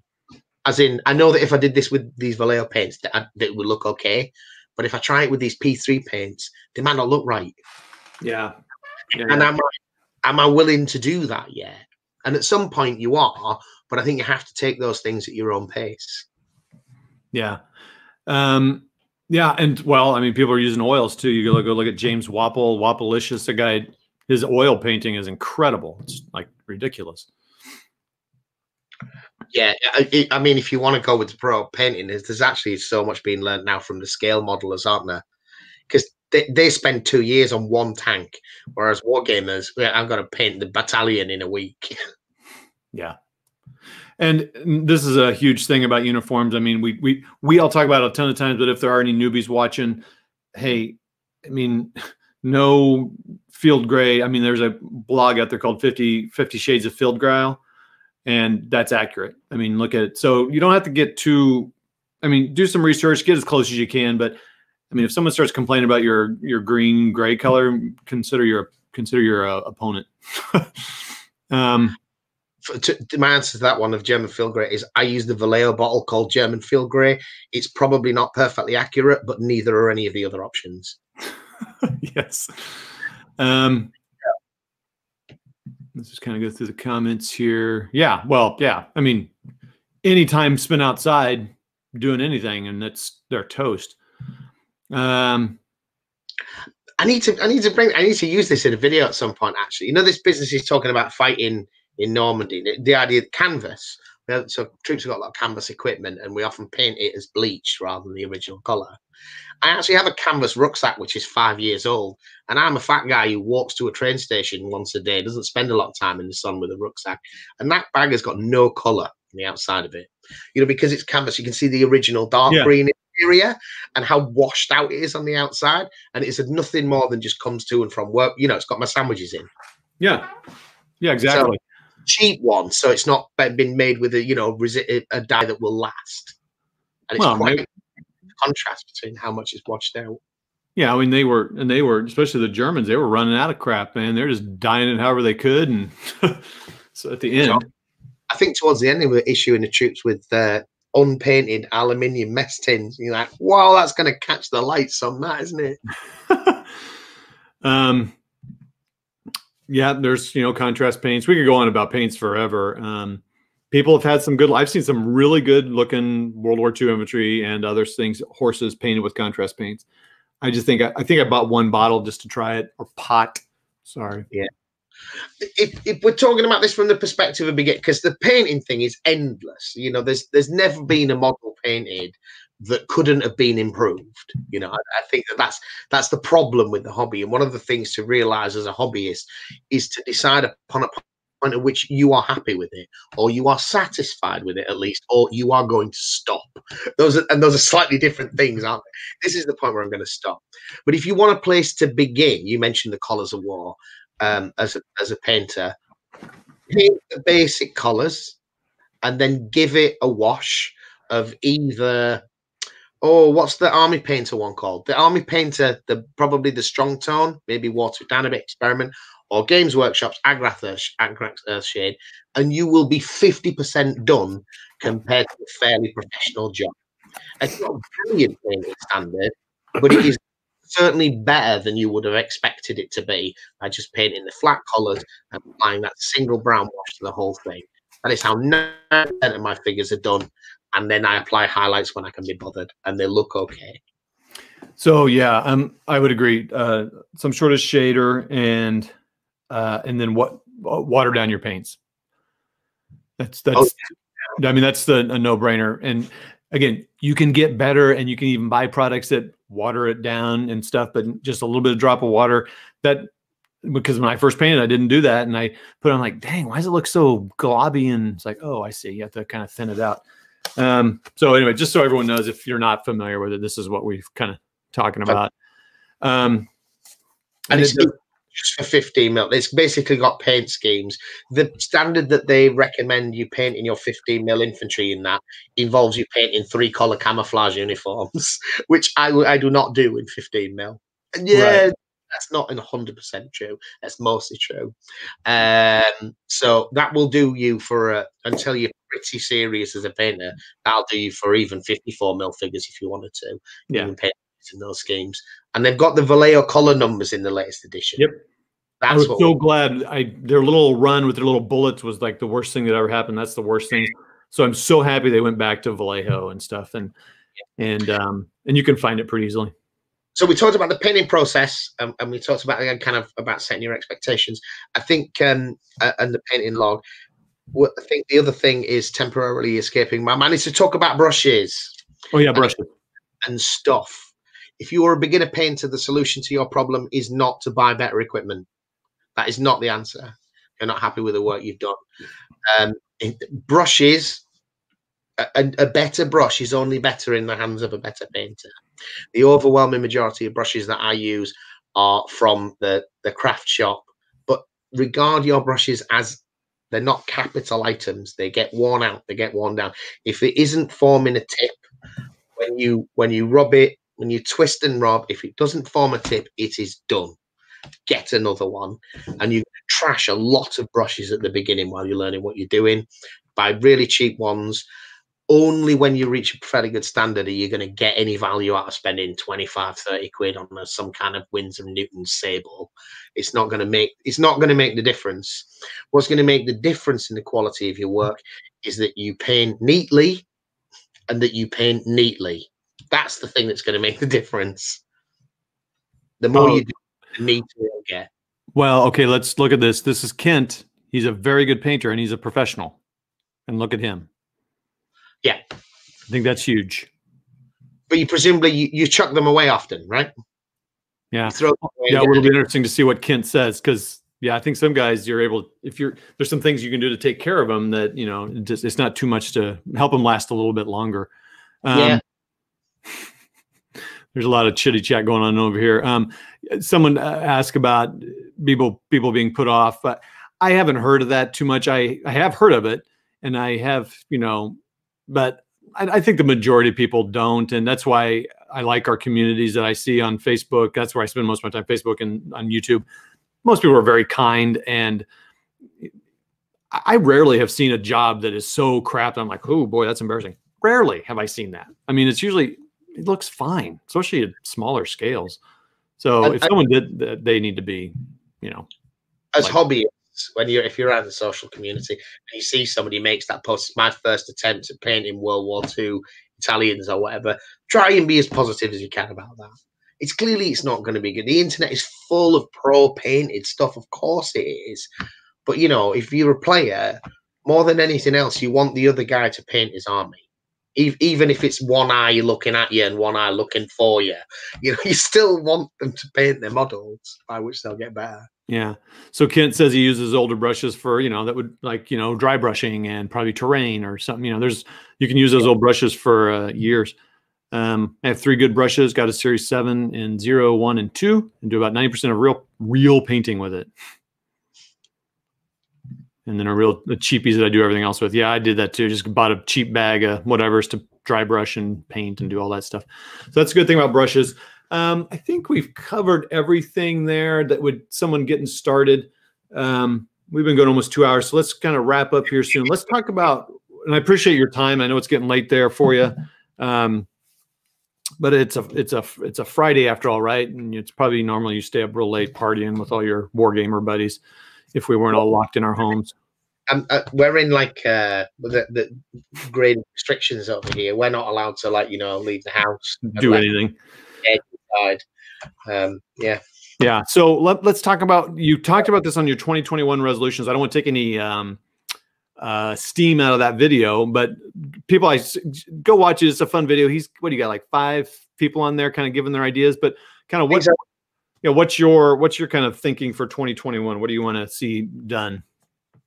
Um, so this is more reflections as a, as a, as a YouTuber, but potentially useful. One of the guys on there um, talks about Trello, which is project management software.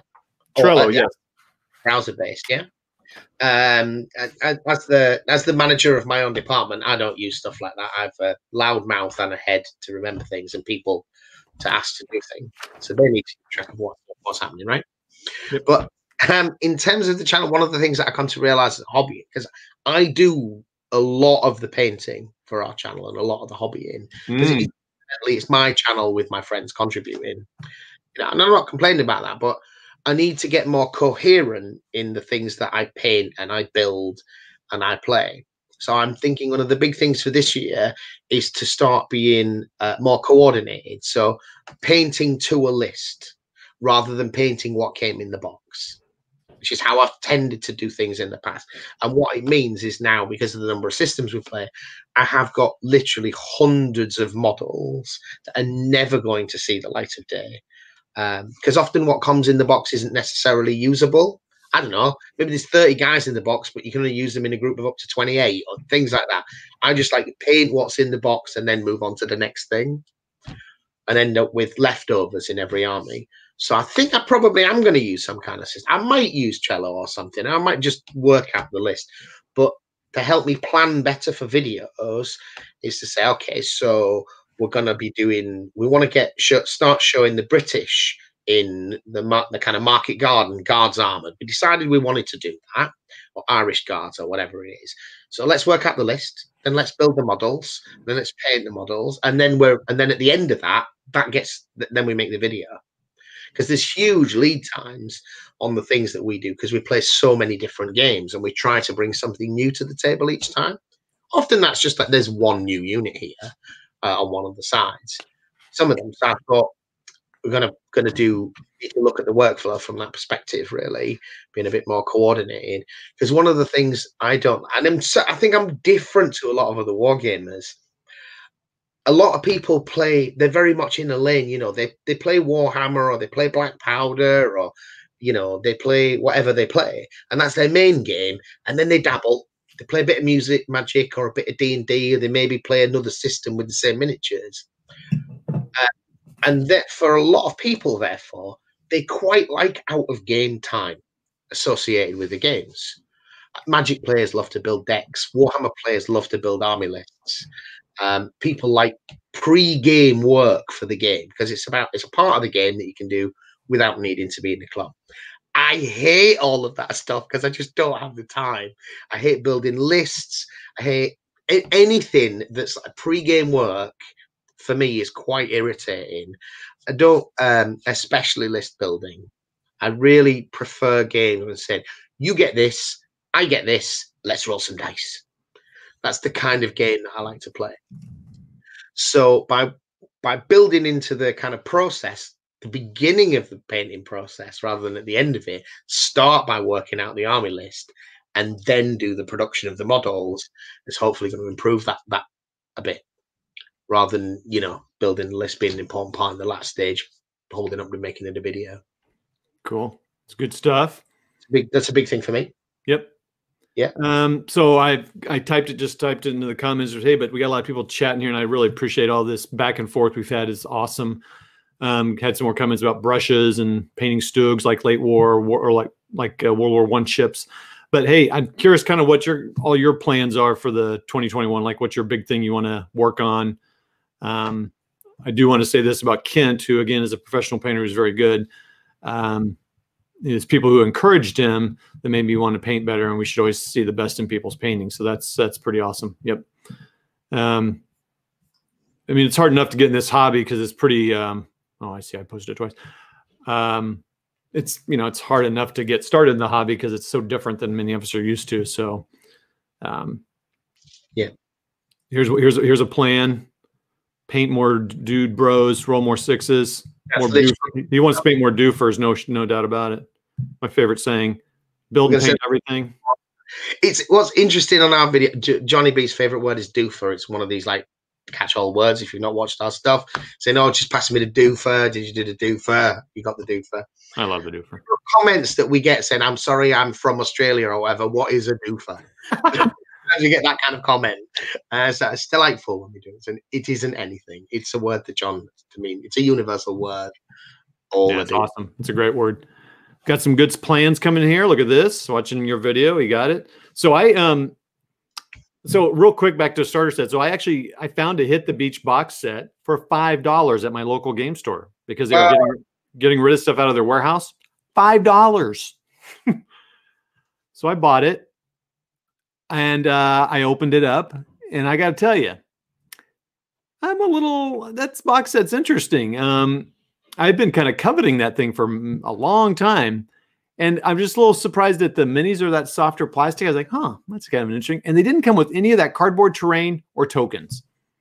The new Hit the Beach set. Yeah. I'm like, not the old open fire set. No. The, I'm like, how, how do you not include that cardboard terrain in those tokens? You have to have those tokens to play Flames of War. Not the the cardboard train, I guess. No, I guess you don't need it. But yeah. it's so cool. Now I know I think their little starter sets come with the terrain and tokens. Yeah, they do. Yeah. Why would you not put that? I can't imagine it costs that much. I don't often like to complain about game companies. You run your company how you want, but I'm just like, what? I, I, I agree. And actually, on the Team Yankee one, they've learned from that, and they may fix it on the Hit the Beach because in the Team Yankee one, they printed those tokens on the inside of the box lid. Yes, fantastic. I mean, of, I mean that's not great, but they are there. It's a start. For kind of loud, Bolt Bolt Action puts a, a, a ruler on their cardboard thing. Like, who needs a cardboard ruler? But it's cool. If you do, it's there. Yeah, yeah. Well, that's that's perhaps the last thing to to mention. Just as as as when we're talking about starting games, is the other stuff, isn't it? It's the it's the it's the tape measures, it's the rulers, it's the dice, and so forth And just to sort of in terms of completeness. And I don't know whether you have stuff like this. This is the kind of thing that I use. I have one of these for most of my systems. This so just drawer, my game systems, one of these stackables, and it's got the the relevant tokens. Yeah. So my bolt action pin markers, rulers, activation dice, this box, if I'm playing bolt action, I need I've got another one with my flames of war tokens in, load of dice, etc. And uh yeah, I've got that drawer of that stuff too. In fact, just yesterday I was at the um, craft store with my son because he was having to pick up some stuff for his art class. And I picked up this great thing for board war games. So there's always that little crap to buy that you um, do or do not need. But you really do need for some some things um, the basics. So let's look at some of the other stuff. We got uh, flames of war here plans okay i get that one already build and paint everything impossible. John johnny B's going to do all the doofers. Um, yes. picked up a pack of vikings from victrix and didn't know where i wanted to start but after looking at the raven feast rules have planned to build a force for that and see how it goes. That's awesome. Um, enjoy your time. We definitely hey thanks for coming on tabletop if you're leaving. That's great. Um, John's going to get back to painting. Yeah. Yeah, exactly, gun barrel. You and I agree on something. I can't believe it. Uh, yep. Okay, look nice. But here, I think I'm going to skip something here. Wait, did I wait? Wait. Oh, wait, man, you guys got you're cranking it out here. I choose one thing every year that I want to paint better than like skin or painting white. Yeah, that's cool. So, I mean, this is a guy that's trying to perfect his uh, craft, which is awesome. I, I appreciate that a lot. Um, this noob uh, will get some newbie battle reports uploaded. That's right. We've been trying to get Mini Warmat. So Mini Warmat uh, is with us on Rocky's War Room chat, and he was a scale modeler or is a scale modeler, and he's kind of converted to minis games, and it's been fun watching him get all like, "There's so many rule sets out here." I mean, it, you just keep wanting to get more rule sets, and that's and a struggle as a newbie. It's preventing him from finishing painting the Star Trek models that he'd done. You know, I'm, I'm actually pretty disappointed with Mini Warmat there. Whoa. As, Dang. I'll tell you, hey everybody, I do want to point out Mini Warmat. The, because he's he's got kind of an artistic mind and he's a scale modeler, but he is awesome at creating terrain out of whatever crap he finds around the house. And it's especially cool because he's he's doing it's he's doing post-apocalyptic gaming. That's kind of his preferred um, genre. So he can make. He's making some really cool stuff. So Great. go check out his channel just to see like. I mean, he's always like, well, you know, but he's very good at it, and he's painting is good because he again he has that scale modeler thought and touch. So his his finished product is really good. I'm always impressed with what he's able to do. Um, uh, yep. So you got to find some people to play stuff when you know once we, especially once we get out of some of the stuff we're all in. Um, let's see. I'm just going to kind of go through these uh, Saxons. Uh, oh wait, what's this? One good video for starters. Just get them started in DIY stuff at the table is to make a ruler with a stick and paint the links. Yeah, a lot of rule sets do that because they kind of have set. You don't need two inches. You just need six, 12, and 18 or whatever. Yeah. So that's uh, that does help. Makes it faster. You know. Um, what do we got here? I'm not talking about my 21 20 plans here in just a minute. Um, because it's pretty. I'm not going to show you my sock drawer. Well, that's kind of what I did. So that's what you get. Simple. Let's see. Um, let me see what else. Uh, won't buy any Battlefront minis now that they've gone to the horrible soft plastic. I don't know. Is that change? I thought they kind of changed it to a little bit better plastic. Did they not? I thought they kind of improved it. Well, Battlefront plastic is a is a is a but soft plastic is no longer their preferred medium, but I'm not sure the new medium is better. Oh, great. And then we have that. Okay, so I wouldn't be blushing though. This though. Oh, yeah. Have you got you got one of these? Yeah.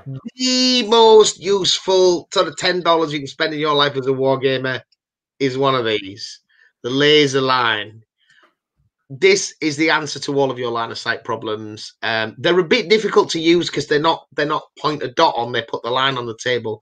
But if you stick this on the head of the model, it will draw the line across the table. There is no space for argument over line of. Either that of, that either that line is going to that model or it isn't. And it's not just about people who are difficult or funny about it. It's often quite hard to sort of get your eye down, eye level down in the middle of the table and see you get yourself one of these. It's a really, really useful tool. Uh, Army Painter Target Lock. I think Warlord Games do their own branded one, but it's basically the same product. Yeah, the most useful wargaming tool I have. That's really cool. So I learned something just now, everybody. So what this is really for, if you can't really figure out, it makes a straight line, a straight laser line on your hand, or you know, whatever. So it makes that straight line. So you kind of stand above it, and it's like instead of pulling a string or something. But I like that idea that uh, Kaiser just shared, where you kind of get down on the table, get it down the table, and push it at the head, so you can see that's really awesome. So these are pretty cool. Um, I'm really glad I have one. Um, another cool thing I've seen people have, but these are big and clunky, are those periscopes that are opposite periscope. Yeah. That, that's a fun. It's a fun way to see the table. I think if you're at a war games demonstration, you know a convention and you're getting dressed up, then that's the way to go. But if you're just playing on your kitchen table or in a war games club, you can carry one of these things around. Um, just uh, send the commission check to Kaiser. He he needs the funds for you know models and paints and stuff. Absolutely, absolutely. Um, so uh, not um, pointer mini Walmart. It's not a pointer. No, no, no. Loads of people did. It's called laser target lock. A laser pointer is just going to put a dot, and they're not that useful actually. They just look like butt plugs and are a handy thing to maybe have in your dice box. This actually puts a line on. Yeah. Target lock, laser line. Okay, so um, so my my the things I'm thinking about for uh, 2021 is um, I want to do some French early war with uh, probably I mean it won't be in person, but uh, with uh, somehow figured out with uh, one of our local guys here, McMurray, who I was talking about. So to do the Gembloux, Gembloux Gap um, game out of Chain of Command scenarios. I don't know if it'll be Chain of Command or Bolt Action or bigger battles, but so I want to do some paint up some French earlier. That'd be the new stuff I'd be buying. So I have to, I get that fun adventure of like, hey, what do I want to get? The cool thing is with Chain of Command, they got lists of the scenario and you can kind of limit yourself to what they've got there. So it's just a matter of, you know, choosing the manufacturer. Um, want to finish building 15 mil then, or are you going to do that in 28? Oh, that'll be 15. I'm I'm I am trying to do 15s as much as possible. Now, this bolt action set that was sent to me was sent to me and by the local uh, the US warlord guy to because I say hey, I'm doing the series, you know, you're one of my sets. can you help me out? And he definitely helped me out. So, but I I owe it to them to get you know do some videos and building out and stuff. But we'll see how it goes if I do any more 28th in that starter set. But no, the French early war will be 15. Um, but I want to finish that starter set, so that'll knowing how slow I am. Uh, I have some other stuff that I bought off some people that were already built, and I just need to finish kind of painting some of those. I don't have a goal on how many of those. And then just I want to do more like interviews like this book. I want to I want to do some book video comic book reviews, like talk about World War II stuff, and then if I can, maybe play a game that's kind of like if I read a early war French book, you know, or play a game in it as well as talk about, you know, hey, I read this book. It's a good book by Alistair Horne. You know, and, and by the way, I read about this battle here on page 78, and let's play a bolt action game of it or something. So right, right. So yeah, that's, my plans. I'm, I'm trying to keep my mouth shut when you're talking about early war French because there's a whole rabbit hole to go down there about wargaming, which we, it's late, isn't it?